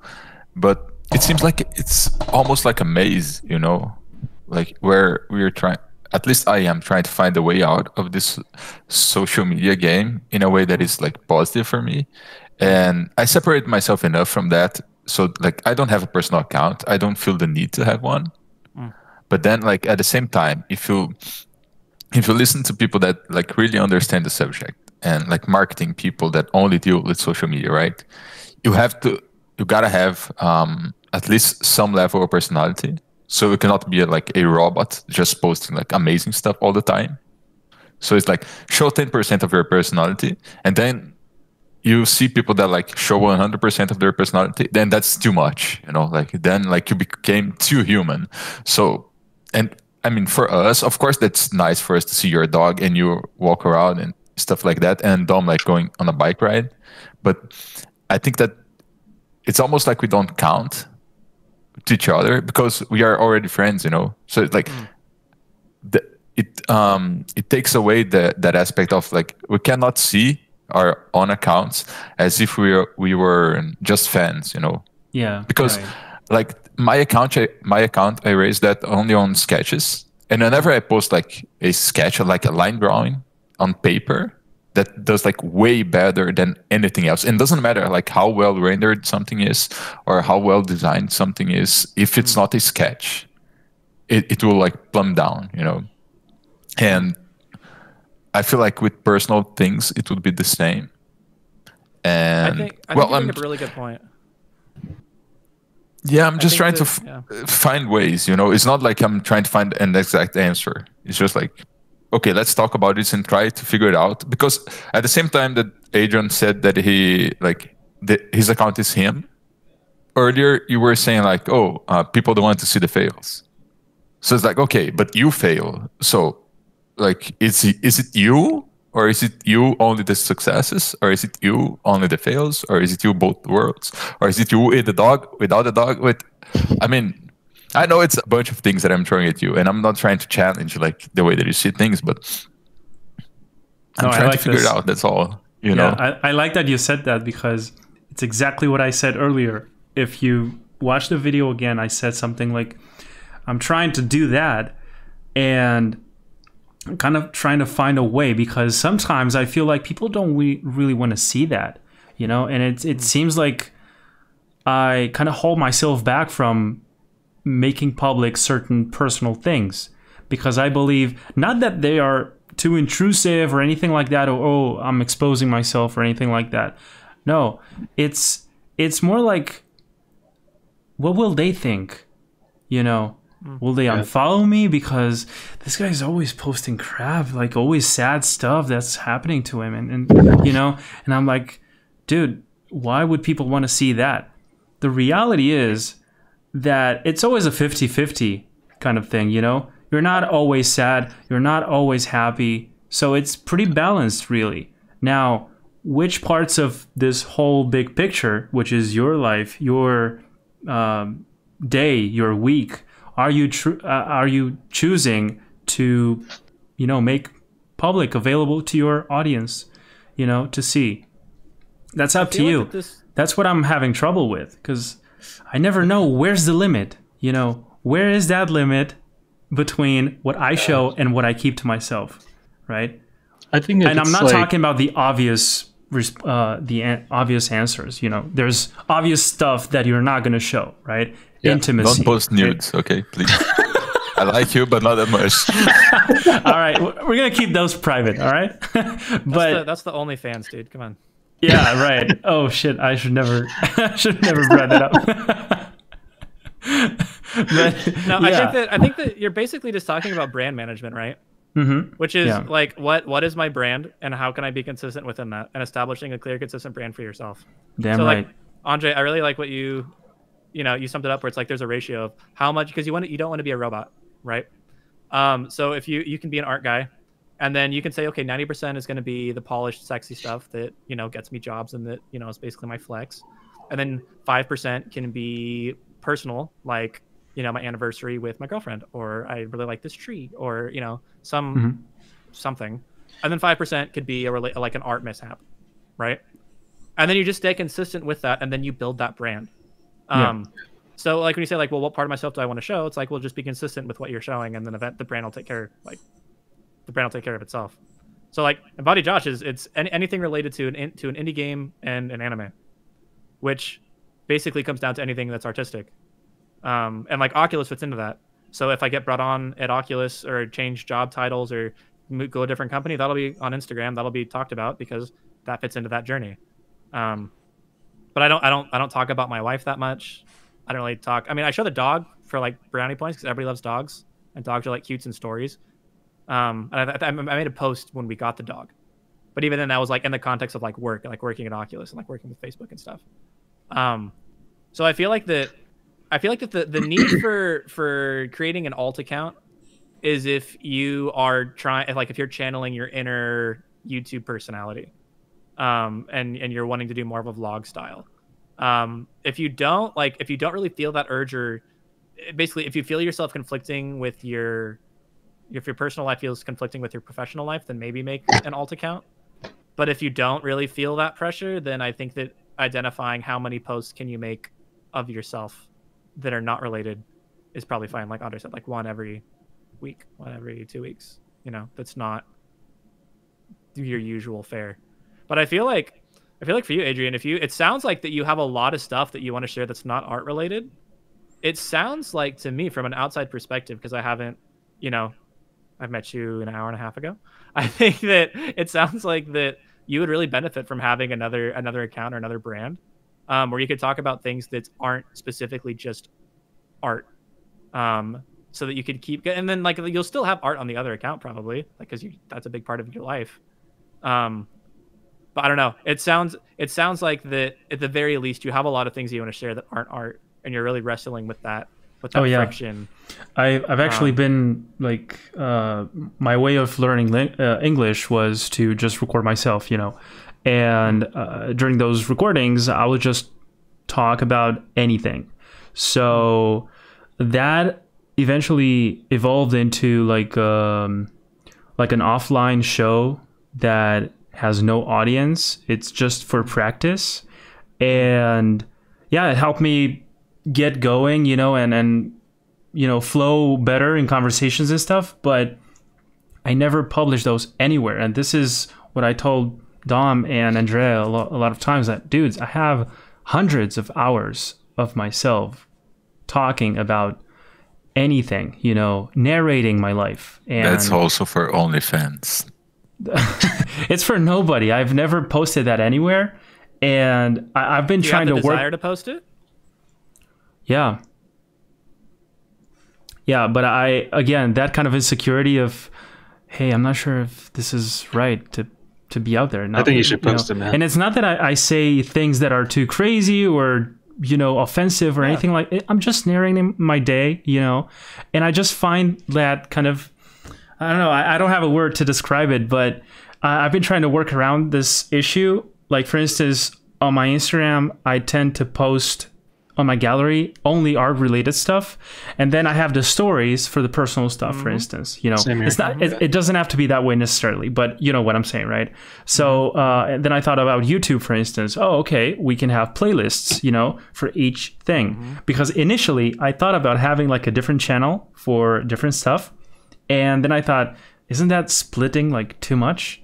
I don't know.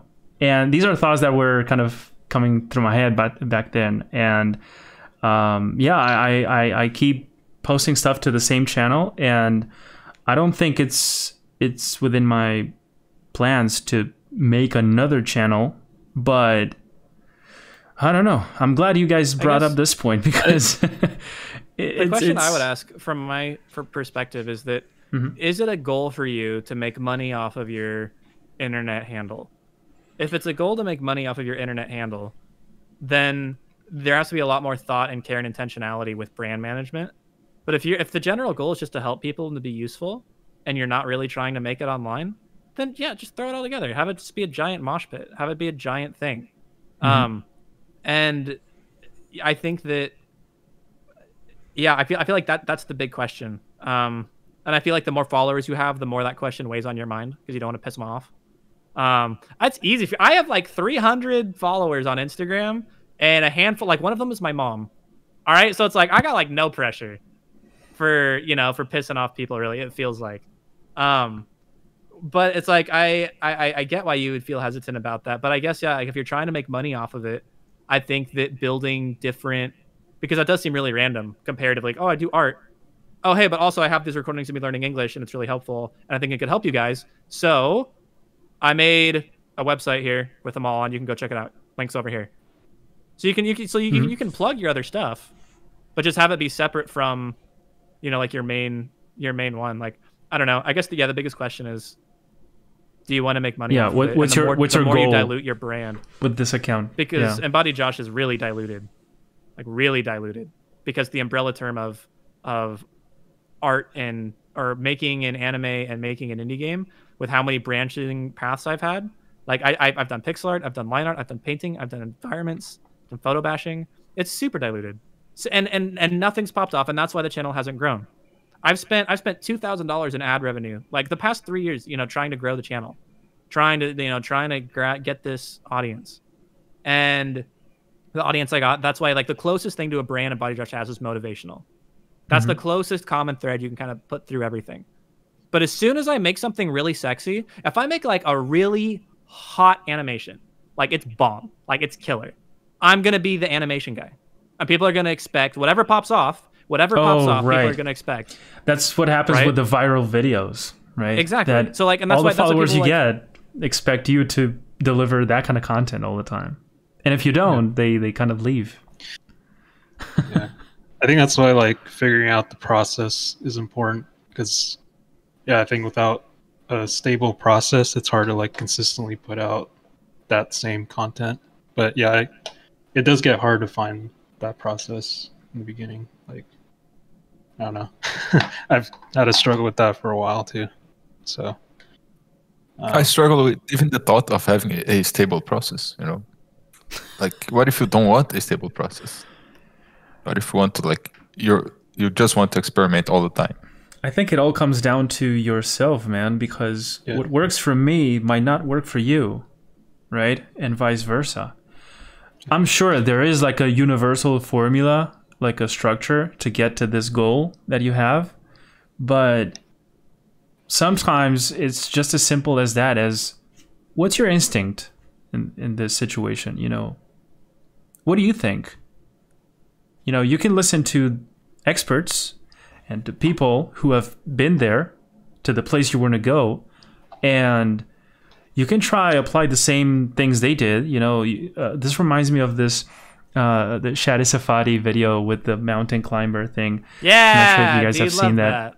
Yeah, like Rule hey, dude, of if awesomeness, you're law of awesomeness, or whatever. exactly something like that. Yeah, exactly. So yeah, you can if you want to get up there. There's people who have been there before. You know, you just follow their trails and that's it. If you want to explore your own, that's gonna take way longer, and you may not even you might not even succeed. You know, you you may you may waste your time trying to find a path that leads nowhere. So it's up to you. That's the the adventure, right?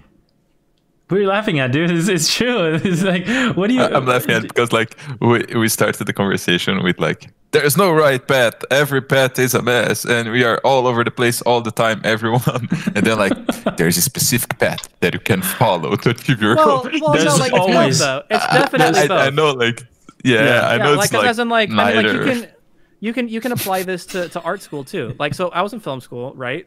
Which, uh, by principle, is controversial because it's the question of art school. Do you need to go to art school to make it as an artist? Like, like people ask that question all the time. Or even even in game design, should you go to a game dev school if you want to be in game design? If you want to be a game dev, um, and the something something one of my like the, leads in my film program said is that you don't need to go to art school you don't need to go to film school to make movies you don't need to go to art school to make art you don't need to go to do those things to make it happen but it'll get you where you're going faster and i feel like that that's the same sentiment Shaddy Safadi said where it's like yeah if you want to get better at concept art then learn about photo bashing and learn about 3d and learn about exactly. It's about speed. So it's you like know. it's like it's the because what, what we and we talked about this before in the beginning of the podcast. If you if you're if what you're doing to pay your bills isn't your dream, speed is the question that you're trying to answer. And how much are you willing to sacrifice for the rest of your life and the other areas of your life to get that speed, to get that drawing time, to get that whatever. So yeah, if you don't have a lot of free time, you're going to be really focused on the hacks, on the photo bashing, on the free perspectives of 3ds, of the you know the references and all of those things, because time is your most valuable resource. So I feel like that no, there is no there, there there's no right path, but there are best practices, and I feel like that there has to be both for that. Um, and that artists can bristle because they artists are prideful, I think, because they like their process and it makes them unique and they're all of these things. But like there are best practices. And yeah, if you don't want to do that, fine. Like piss off. Do whatever you Mhm. want. It's your life. But this has been proven to work. And if it's your time and it's your life, and if you want to meander your own way or your sensibilities don't let you learn from other people or use references or whatever crap you're telling yourself because you're young and dumb, fine. But if you want to get better faster, there's people who can tell you exactly what they did that can put you in the right direction. But yet at the same time, Yeah. viewing that as the only way to get there. Mhm. And then uh, I guess as a, as a final sum up to cap up our, our conversation about social media and OnlyFans and brands or not, I think that a really, really, really simple way to answer that question is what would you show an employer if they want to hire you? If you were to apply for a job at Riot, if you were going to apply to a job at, you know, Beenox or, you know, Ubisoft or just pick a company, what would you link in your application?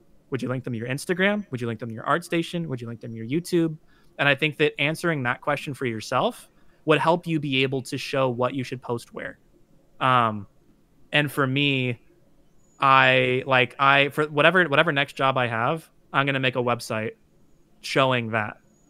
Um, which and it's pretty easy to just get a Squarespace thing or Weebly or WordPress or whatever.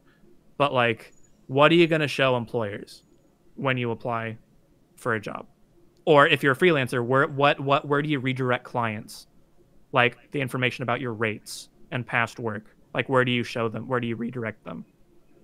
And I think that that probably should answer a lot of questions of what you should post in what area and website. Like, because I have I have an Embodied Josh website, like embodiedjosh.com. That's just a summary of like who I am as a person. That just shows like my most recent stuff. It's like a high level overview. And I think if you answer that, I feel like the rest of it is depending on your aspirations of becoming a YouTube personality or an internet personality. So that's at least for me, that's what I've found useful to draw the line between. Well, that's an interesting way to put it, man. What would you show them? You know, where would you redirect them? That's interesting. Yeah. Show everything. Awkward, awkward silence. All of it. hey, here's my dog. Give me a job. Yeah. Yeah, like you said, I think it's that 50-50 balance of like, you know, what to post or like what you want to show. You know, that obviously you're not going to show every single thing, but just like what is most important, like what's going to help bring value to people in some way. Um, it could be in your day to day that brings value to somebody. Like recently, like someone told me, like, "Hey, I like your nature videos. I'd like to see more of that." so I'm like, "Sure, yeah, I'm definitely down to post that like on the side, you know." Um, but my art account stays like my art account, like Mhm. the profile on the the front page. Like that's what you're gonna see. I feel like each social media platform has like a like a pre-established mm, purpose, right? And I feel like you can turn any of those into you can change that purpose. You know, for instance, you you can you can make I don't know, Tumblr be your portfolio website or Instagram, you know, you, you can make your Instagram gallery be your portfolio, you know, the thing you redirect uh, to people that want to hire you or I don't know. I think I think you that can this is where we get in.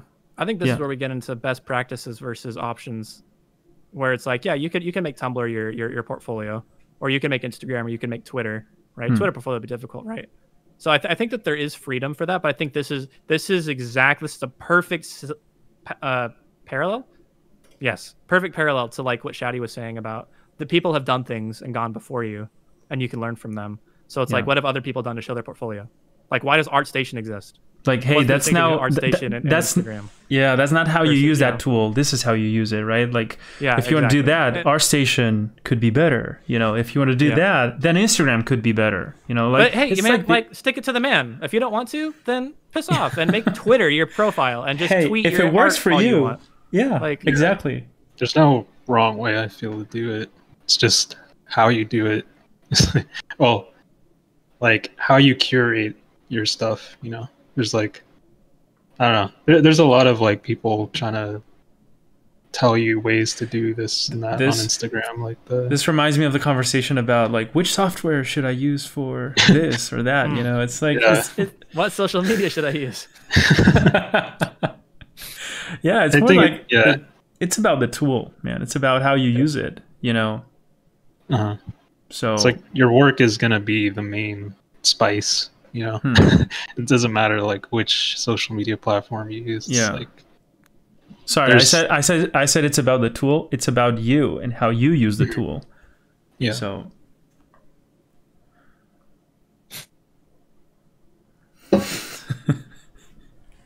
I like when, when there's silence too. yeah, it, come Hey, on, man. It's, it's a- been an interesting conversation. Silence is a great indicator of comfortability in a relationship. You know, like you know, you're going good with your date when there can be a silence and you don't piss yourself, right? Like first couple dates, there's a silence and you're like, oh my gosh, what do I say? Crap, this is so awkward. She hates me. She's never gonna to me again. I'm such a loser. And then you know, you get there and you, you realize you're both just chilling on the couch, you know, browsing Reddit or like, you know, hanging out, and you're like, oh hey, we're chilling. I don't know when it happened, but all of a sudden the silence became comfortable. And like once you hit that point, you're like Mhm. that's like a sweet spot. And then you have to be careful that you don't become complacent and you like don't actually, you know, like ignore each other. But like once like the first time silence becomes comfortable, it's like the best. It's been so like it's nice. but Now we are going to start another episode on relationship advice, Josh. So perfect. yeah, let's go. This isn't Yeah. just an art channel, so or an art podcast channel. Wow. Let's come I back and talk about what's it like to date. What's it like to marry an artist? What's it like to date an artist? Artists in love. Err. I see that as the equivalent to taking a break, you know, from all the noise and all the action in life. Because sometimes you feel bad for that, you know, just the same way you feel that urge to feel that that emptiness, that that silence in a conversation with some random words. The same way about taking a break, you know, like I shouldn't be taking a break. I should be doing something, you know, and I feel like, yeah, that's a big no no. You know, respect, sleep, breaks, and There's more to life than art. Just like shut up. I so Yeah. much of the art on the internet are high schoolers and college kids jacking each other off and thinking that they're the Yeah. best and that they're gonna get the job or they're gonna, you're or, or you're or you're, you're I'm or like a salty industry pro. right? It's like just Yeah. calm down. Yeah. Calm down. Stop. Just shut up. I don't know. I, it tilts me. The art industry tilts me. Um, Do you guys the- I watch a sorry, lot the art? The art internet. Art internet. Art Twitter. yeah, like, do you guys watch a lot of like uh, art YouTubers or things like that? I did. Because I don't feel like I watch like almost No. any of those. My my my my saltiness isn't directed towards individual content creators. Like I feel like a lot of the a lot of the really cool people I like on like uh Marco Bucci, um I Yeah. mean Shaddy Safadi, um freaking I mean, every time every time Marco Bucci Cypher, releases yeah. a video, I I have to watch it, and that's once every three months, I think. I feel like that's the sweet spot, you know. oh yeah, once every three months. Wow. Jeez. That Dude, because he doesn't look, release- You are working with, yeah, he doesn't we're working more. with art like Mhm. more than ten hours a day. Like you want to relax and watch more things about art. Like, That's like, uh, yeah. we were talking about, uh, well, I think me and Adrian earlier, we were talking about like people who like sketch after they do a personal piece. Like it's just art after art. They replace their breaks with art and more Mhm. art. It's like, what else do you do? you know? I don't like know. other than that. Hey, I mean, if I- you're excited about that, go ahead. But but if you Yeah. do it whatever out whatever of makes you happy. yeah, to an extent. For me, at that I would I would go crazy. I have a hard time. Something that I really struggle with is like perfectionism, and if I don't, if I if the art piece isn't going well, I struggle to enjoy the process, and I think that's a vice, um, because I view art as a tool for communication uh, compared to a tool for self-expression. So for that sense, but then like it's also self-expression too. So if I'm expressing myself poorly, it feels terrible. So I view art as a job. I view art as work. Art is not fun for me. Um, I maybe it, maybe it will be one day when I get to like my comfort zone and I can draw my cute fan art or a comic or something like that and not have to like be sweaty all the time trying to not suck. Um, but that's something that I personally struggle with. So the people who draw all the time, draw for work and then draw for fun, do whatever else, and they like to derive genuine joy from drawing. I'm a little envious to be honest. Um, I wish I wish I had that mindset. I wish that I did. Um, I don't know if I ever will. Uh, I feel like I'm too young in in my art journey to be able to to speak confidently on that. But at least so far, my art has the closest I've gotten to enjoying it is like when I'm doing like perspective exercises. It feels like zen. It feels like chill, but not to the point of like, man, I can't wait to like be done and go draw some perspective cubes after work. Like, no, like you know, and it's not even like, man, I can't wait to go draw the fan art of you know the new Zelda game that came out. It's like, oh yeah, so I can make it look like hot poo poo. No, not looking forward to go embarrass myself with my fan art that looks like trash. Um, not even that anybody else says that I think it's that way. So that's something I personally have to work on, um, and enjoying the process of actually creating more, um, for the sake of it. Because if it's if, if it Yeah. doesn't turn out well, I don't. It's not fun. So art is still very much in the work camp for me Hmm. currently. Hopefully that changes. I'll keep you posted. But yeah, I can't. I have to like schedule time to do art, and it's like scheduling time to do a chore, or like scheduling time to work out. Like it's not. Yeah. I, I think it has. You probably just mentioned something- like two things that I do for fun, you know, art and working out. So it's like, Dude, I I was going to say. you know those things that you value? Yeah, they suck. No. I think I mean, it no. probably I mean, has I'm, to do. I'm jealous of you, man. I would be. I would be. I would be hotter, and I would be better at art. In other words, I would be Andre if I liked art and and liked working out. But I I hate working dude. out, and I hate sucking at art. So you know, like that's something that I'm trying. I, I I personally have to improve on. I would say it probably has to do with the meaning, you know, it has for you, to you. Because, you know, to some people, working out might be like hell, something awful. You know, I hate it. And to some other people, might be like a super enjoyable experience, right? And, you know, same thing with art, probably. I'm not sure. I don't know. Uh, I, I relate more to Andre in this case. Like, I this is my jam. You know, I have a lot of fun with what I'm creating, and I think it's because of the meaning that what I'm creating has to me, right? The fact that it's a personal project, the fact that I know where this comes from, it's not for no one else than for myself. That's a different story, probably when you're working for a client, you know. But even then, I think if you get into that project and you you kind of relate to it or something. If, if it's something you enjoy, then yeah. If it's something that you're working for someone else and you you can't seem to connect with the essence of that project, it's gonna be mm-hmm. a, an awful experience. I think you know.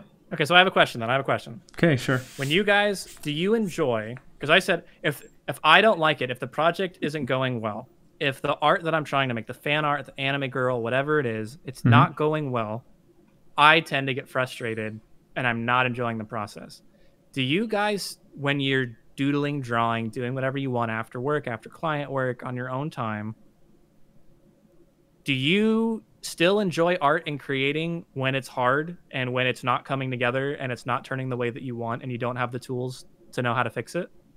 Because if that's true, that's Hell amazing and that's Hell really yeah. inspiring.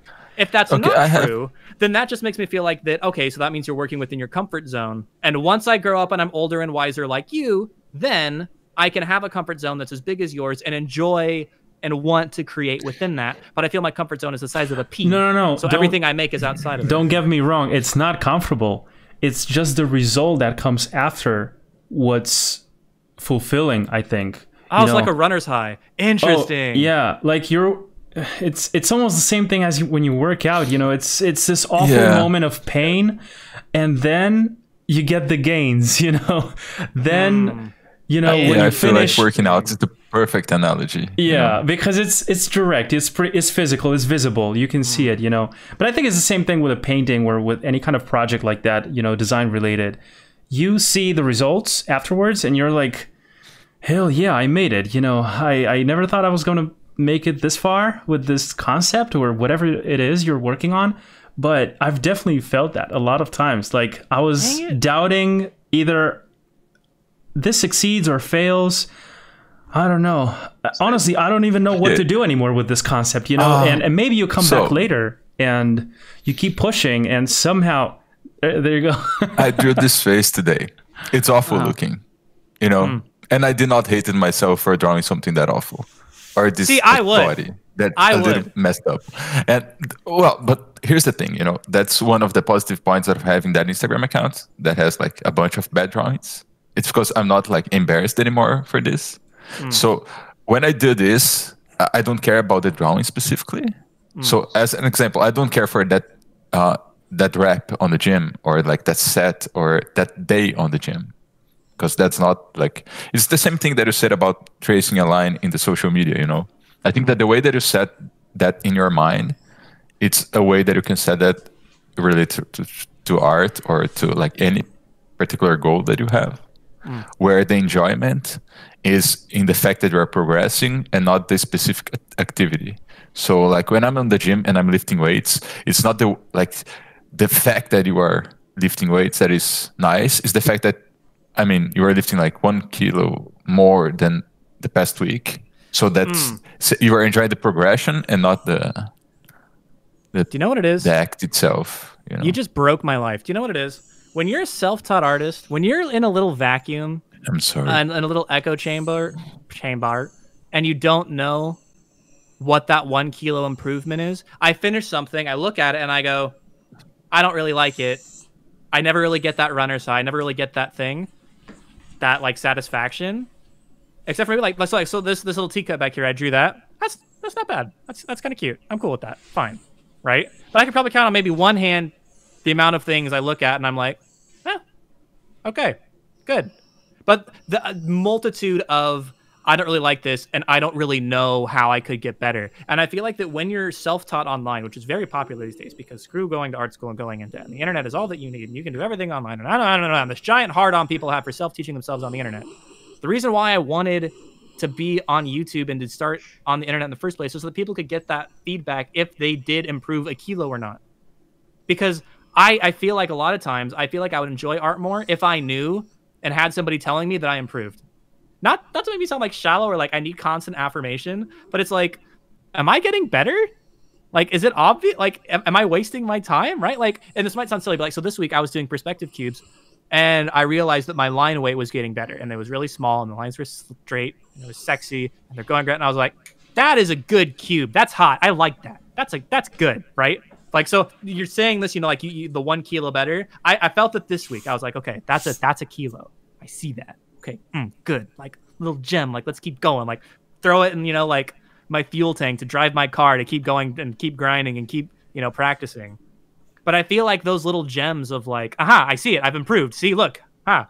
I feel like that that's really hard for me, which is why I started the YouTube channel. So I look at it, I look back, I look back at art from a year ago, and I'm like,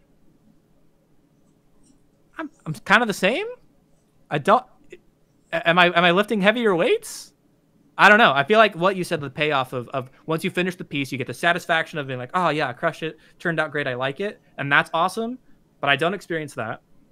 And then the even if it's not awesome, but you know, but you know what? At least at least I lifted a little bit more kilo.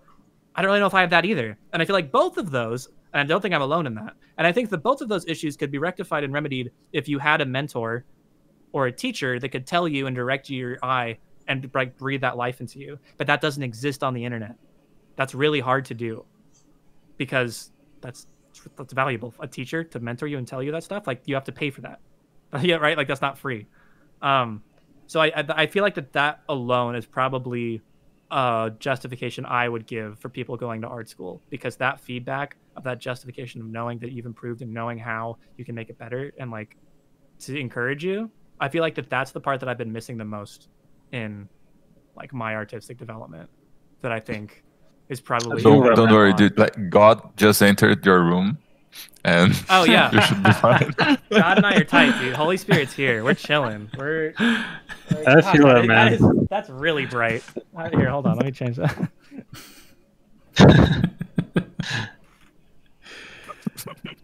You have some unique ways, Andre. Cannot There contain myself. I'm sorry. Perfect. it was like all of the sudden in the in this specific moment. He spoke. But, but uh, Yeah. but yeah, man. Um, yeah, go ahead. I don't even know what to say. I just wanted to confirm, like, yeah. I was just gonna say, yeah, like my uh, yeah, my mentor just shat on me. Like, Yeah. a lot of times. I was gonna. I I miss yeah. that. That's awesome. so So like it's it- both at the same time, you know. Like you are wrong and you're shit, and here's why. But there's hope, and this is how you, you get it. So yeah. So there's a way. Like it's tough love, but you know, it's it's worth it in the end. I feel like to have somebody who's who knows like more experience, has gathered knowledge in their time, and shares it with you is like super valuable. Because like, yeah, I was shooting in the dark for like I said, four years. Like I didn't know what to do until my mentor came along, and then he just pointed out like you're doing this wrong, this wrong, this wrong, and this wrong, and this wrong. Scrap everything and do it over again. and I was like- like, like, everything was a like, that lie?" was great. but yeah, but it, it was like it was really like humbling for him to just like point that out because it's like if I hadn't taken his advice, like I would have gone down the same route I've always been doing, and that would just be like I would be lost. So mentors are definitely helpful. I feel, yeah. I think it doesn't hurt to ask like just DMing someone on Instagram and asking them to take a look at their work, like or your work, for instance. It but takes balls. Just to get a new perspective well, on your um, stuff. I relate to that moment where your mentor kind of shed on you because I told you guys like I made it like I spent six months doing a portfolio, a generic portfolio, like with everything from environments to creatures to characters, and I sent it to like three guys, and the three of them said, "Hey, this sucks. Do it better." kind of like roughly in that way, you know, not specifically like that. Yeah. But um, and it sucked. Honestly, like I felt like shit. I posted the portfolio, and two weeks later, no piece was on my portfolio anymore of that project. See, but that's great. Not that, a single like, one, the- like from thirty pieces. See, the good news is though is that like being able to have somebody tell you no you're not there yet but then continue to show you and help you and not piece out of your life and you know be willing to help you with that like i had so before when i, I knew i was going to quit the restaurant industry um this was before oculus when i was like trying to figure out that other skill right and i i i, I had a friend at the time. He was a he was a 3d modeler. He was he was an artist. He was he was on the art team at microsoft on halo infinite which still hasn't come out at the time of this recording which is bananas. So he's in there and he's working with all the artists. He's, he's an artist on halo infinite. And his wife is uh, a 2d artist at uh, like chucklefish or something some other game studio. So they're both industry artists uh, and i was friends with them. So I, I went over them and i talked to them and i basically did like a portfolio review and they basically just shat on me like you said but we're like no you're not anywhere close to being ready for the industry. And that was that. That was it. There was no offer of mentorship. There was no offer of continue. There was no offer of you could do this better to improve. I mean like they roasted it and showed all the floor all the shortcomings which i could then i still remember some of the notes that they said right? But there was no extension of let me try to help you grow in this. It was a you should do this instead. Like you're not ready. Do something else instead. And it's like hmm. that was just like that was just demoralizing. Yeah. that was just like that that wasn't helpful at all. That was like it was helpful to know that i wasn't you know i wasn't going to go apply for concept art jobs and embarrass myself right?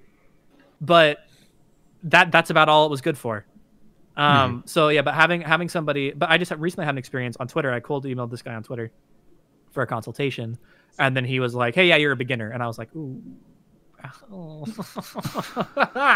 um, but the difference was is that he pointed me in the right direction, gave me some resources, and then I messaged him. I was like, "Hey, like, would you be down to do like another consultation like a month and let me know how I've done for the, the things that you recommend?" He says, "Yeah, sure. You know, just hit me up when you're ready for another one." So I'm like, "Okay." So you know what? I'm an adult. It's going to cost me money.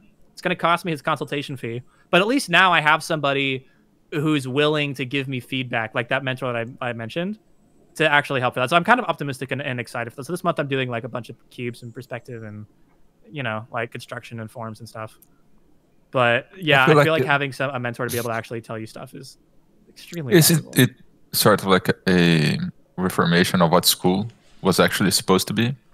because Yeah. then like you you get someone who actually knows what he's doing and then you learn from them and then like mm-hmm. you gather a bunch of people that know what they're doing and put them in a place and you gather a bunch of people that want to learn from them and put in a place and that's what the school is supposed to be but then Yeah. like the prices increase so much and they got teachers that are like need to be a bang for the buck so they don't know as much as the people like that really know what they're doing I mean, that's why the school is losing value a little bit I honestly, I have, a, I have a really hard time with school because I think that what you just described, getting a bunch of experts in a room and being willing to teach people, is worth the money.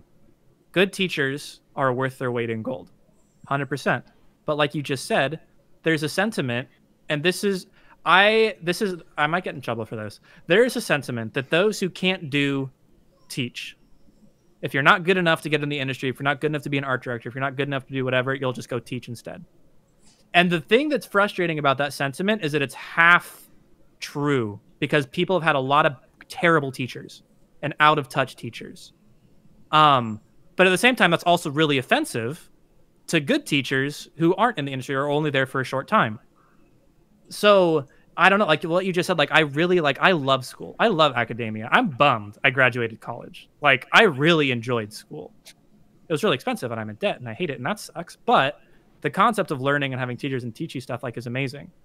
Um, which is why I did the whole YouTube thing. But even then, my time is limited. So people, you know, message me in my in my Discord and they're like, "Hey, do this portfolio review," and I'm like, "I don't have time to look at your portfolio and tell you you don't know form or perspective because that's all the notes are because nobody values form or perspective because it's boring and lame, right?" So it's like it's it's it takes it's expensive to tutor somebody. It's expensive time wise and money, right? So it's like so I- it's, it's a hard problem to solve. So yeah, we're we're we're over here huffing about how great it is to have a mentor. It's like obviously like nobody said it wasn't. But it's just the, the unfortunate reality is that it's awesome but it's also really hard to find and really rare. Um, and i think that's the strongest case for school. So i guess if you want to go to art school find a specific teacher that you like and go to that art school and have that teacher teach you. Yeah. Sometimes it's hard because like you don't get a choice for teachers Yeah. at times. Yeah, that's Right. what I did actually for my own education. Like I learned from books up to a point where I thought like it was decent for me to take a class, and then I looked at one teacher, like where would he taught, and I, I only took one paid class ever, and it was with mm. that teacher because I liked mm. his work and not like the school in general or anything in general. And it it was not a personal mentorship; it was the closest thing that I could get with one artist that I admired, mm. and I mean it kind of worked, but it was not like a personal mentorship, of course, and as beneficial, beneficial as a personal mentorship would be. But yeah,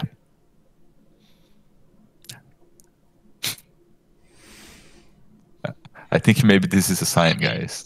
yeah it's so look at, that, look at that bonding look at that comfortable silence how long do these podcasts go we've been talking for two hours i thought you were going to wrap up after an hour but we went Two for hours. another one Yeah, um, I'm, I was about to wrap up, but like right now. Perfect. Really? Oh, okay. oh I- we're I- still going hour three. Oh my god I can keep going as as long as it needs. you know, we, we we don't really have like a, a specific time uh, for how these ep- how long these episodes last. So it's usually more tailored to whatever it needs. You know, whatever the subject is. But I, I really like this topic about mentors and all that stuff. I, I recently got into teaching as well, and it's it's I gotta say, man, it, it's it's a weird feeling to to be in a place where you you used to see uh, those people who you learned from, basically. You know, like now I'm teaching as well. You know, it's it's I don't know. just to see your students being your students is is, is such a such a feeling. I, I don't know how to describe it. I have no words for it. It's just like ah, just like fulfilling, you know, in some some way. So because you're giving back to people. So it's- yeah, yeah. I, I don't know. I think I I I I I will have that issue that you mentioned, Josh, about like what's that point where it becomes not viable anymore to you know to teach this kind of stuff to so many people, right?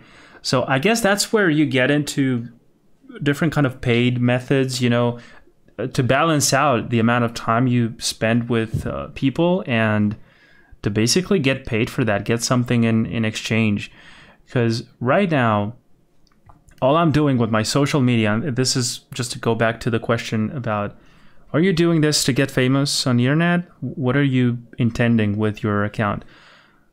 I have no intention of getting like, you know, lots of subscribers or anything like that to make a living off of my uh, internet accounts. But I think that it's also beneficial to have a decently large uh, following mass because imagine one day you want to release your own stuff somehow, you know, and there's no audience for you to, to notice that. Nobody knows you, right?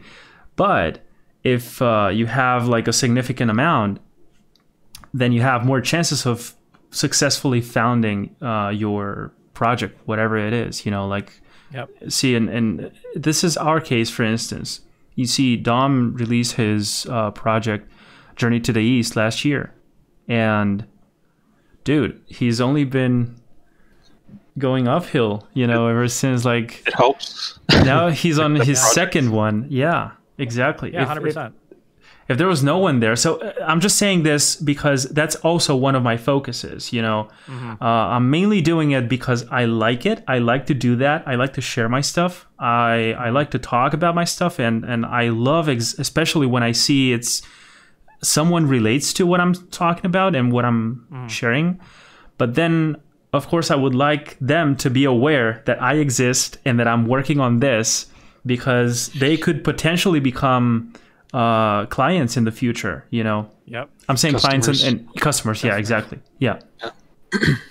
so yeah, that's exactly why I did the whole second brand thing. As soon as I realized that Embodied Josh wasn't going to be as big as other branding strategies could be, I was like, well, because like if I want to make an anime and an indie game, that's likely going to start with a manga, right, or a webtoon, or a light novel, before it gets adapted to anything. So Yeah. you're exactly you're exactly right. If you wanna if you wanna make anything original, having a following is like fantastic. Like so. Yeah, having I totally get the value for that. yeah, because it's Um, easy for, for you- people even, to even if even if you're not a personality, but just like having having something to plug, having people that already like your stuff. So when you do put something out, they have you know you already Mhm. have some people looking at it. It's Yeah. super helpful. Yeah, because it, it's al- it's always that thing. What I think about when uh, some people bring up the subject that why do you need so many followers? You know, why do you care about that so much? And, and you're like, look, I don't I don't really care that much, but it, it feels like that could be really useful in certain moments. You know, so it's not like, like I live to please people. You know, I live to do my own thing, and if they like it back, then that's like uh, what's the word I'm looking for? That's that's the the Gravy. consequence. That's the result of of that thing. You know. no, yeah, it's it's I don't know. It's tricky, you know, because every case is different, but. That's ultimately the way I see it, and uh, it's pretty sad that some people are blind to that kind of thing because they, they believe you made it you make it out of um like you're a narcissist or you're uh, you know something like that Yeah. like oh you you really care only about the the likes and all that stuff Yeah.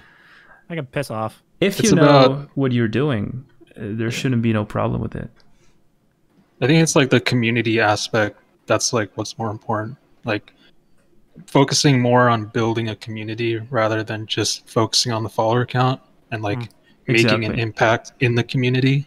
That's how it's it becomes more fulfilling. Because if you just focus on like how many followers I can get, you can get stuck within that cycle. But just like how can I grow my community to impact this specific community, you know, like this Mm. niche or something. yeah because niche even if you have like a hundred thousand followers maybe only Mm-hmm. 10,000 of those followers are truly committed maybe even less than that you know so it's Mm-hmm. i think it's rather about the the quality rather than the quantity here or like the engagement with Yep. your work rather than just the likes.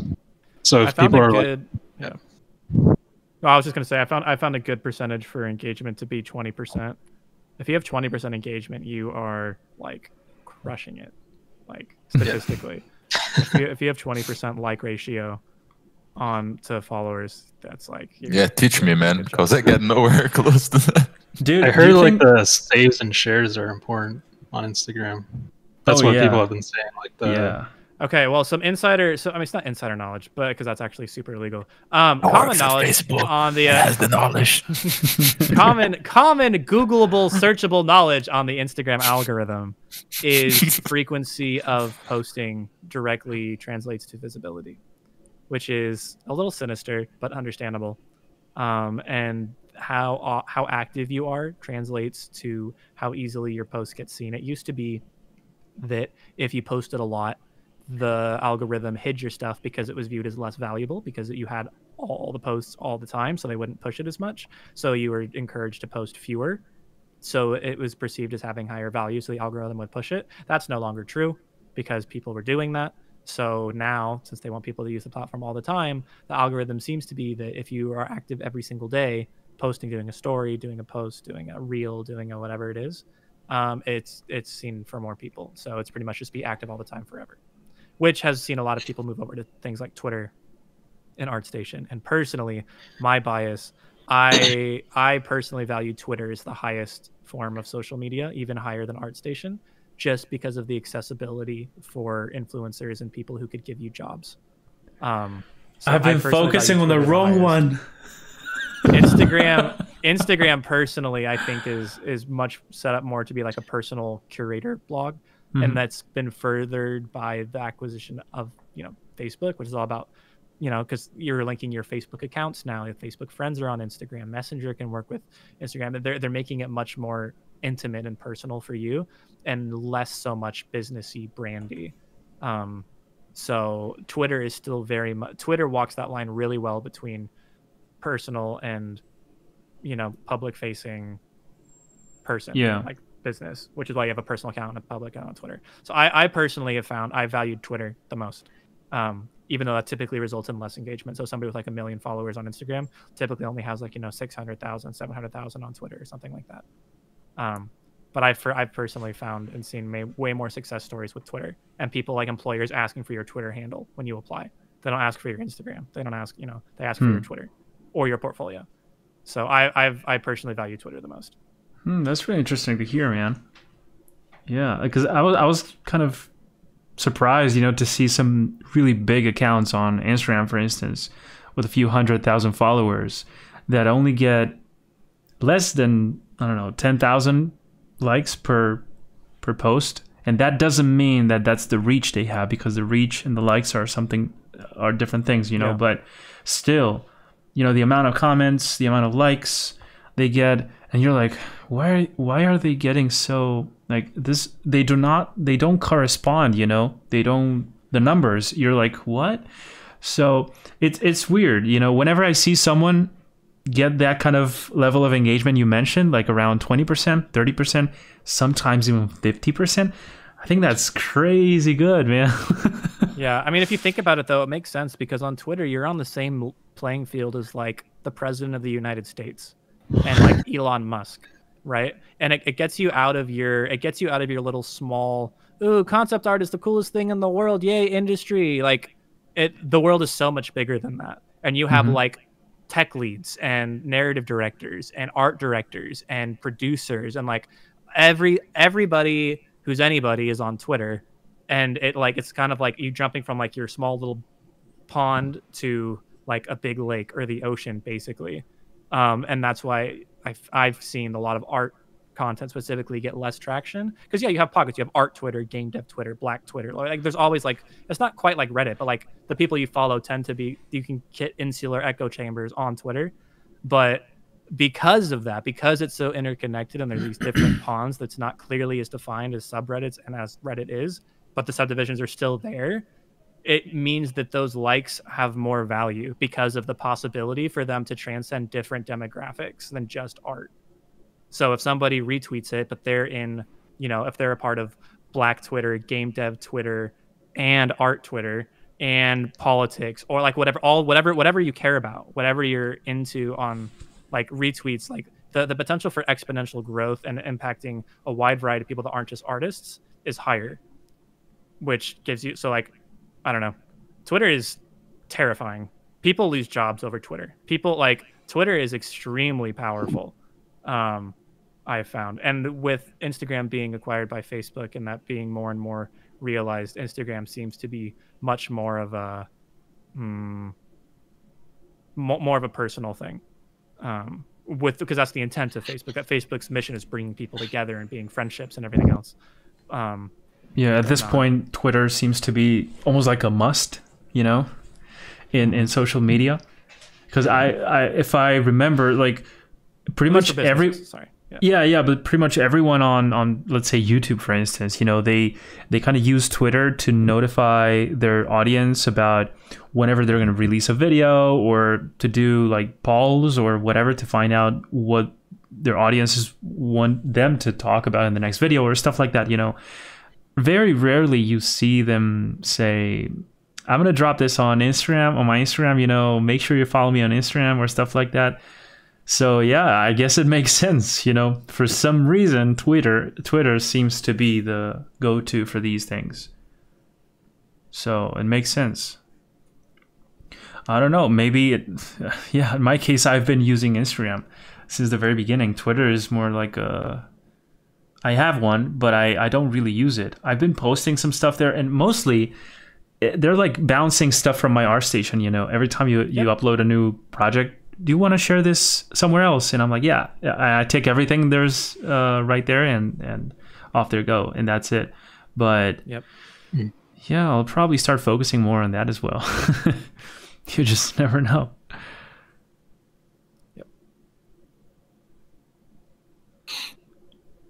Well, Andre was meditating. this was a great podcast.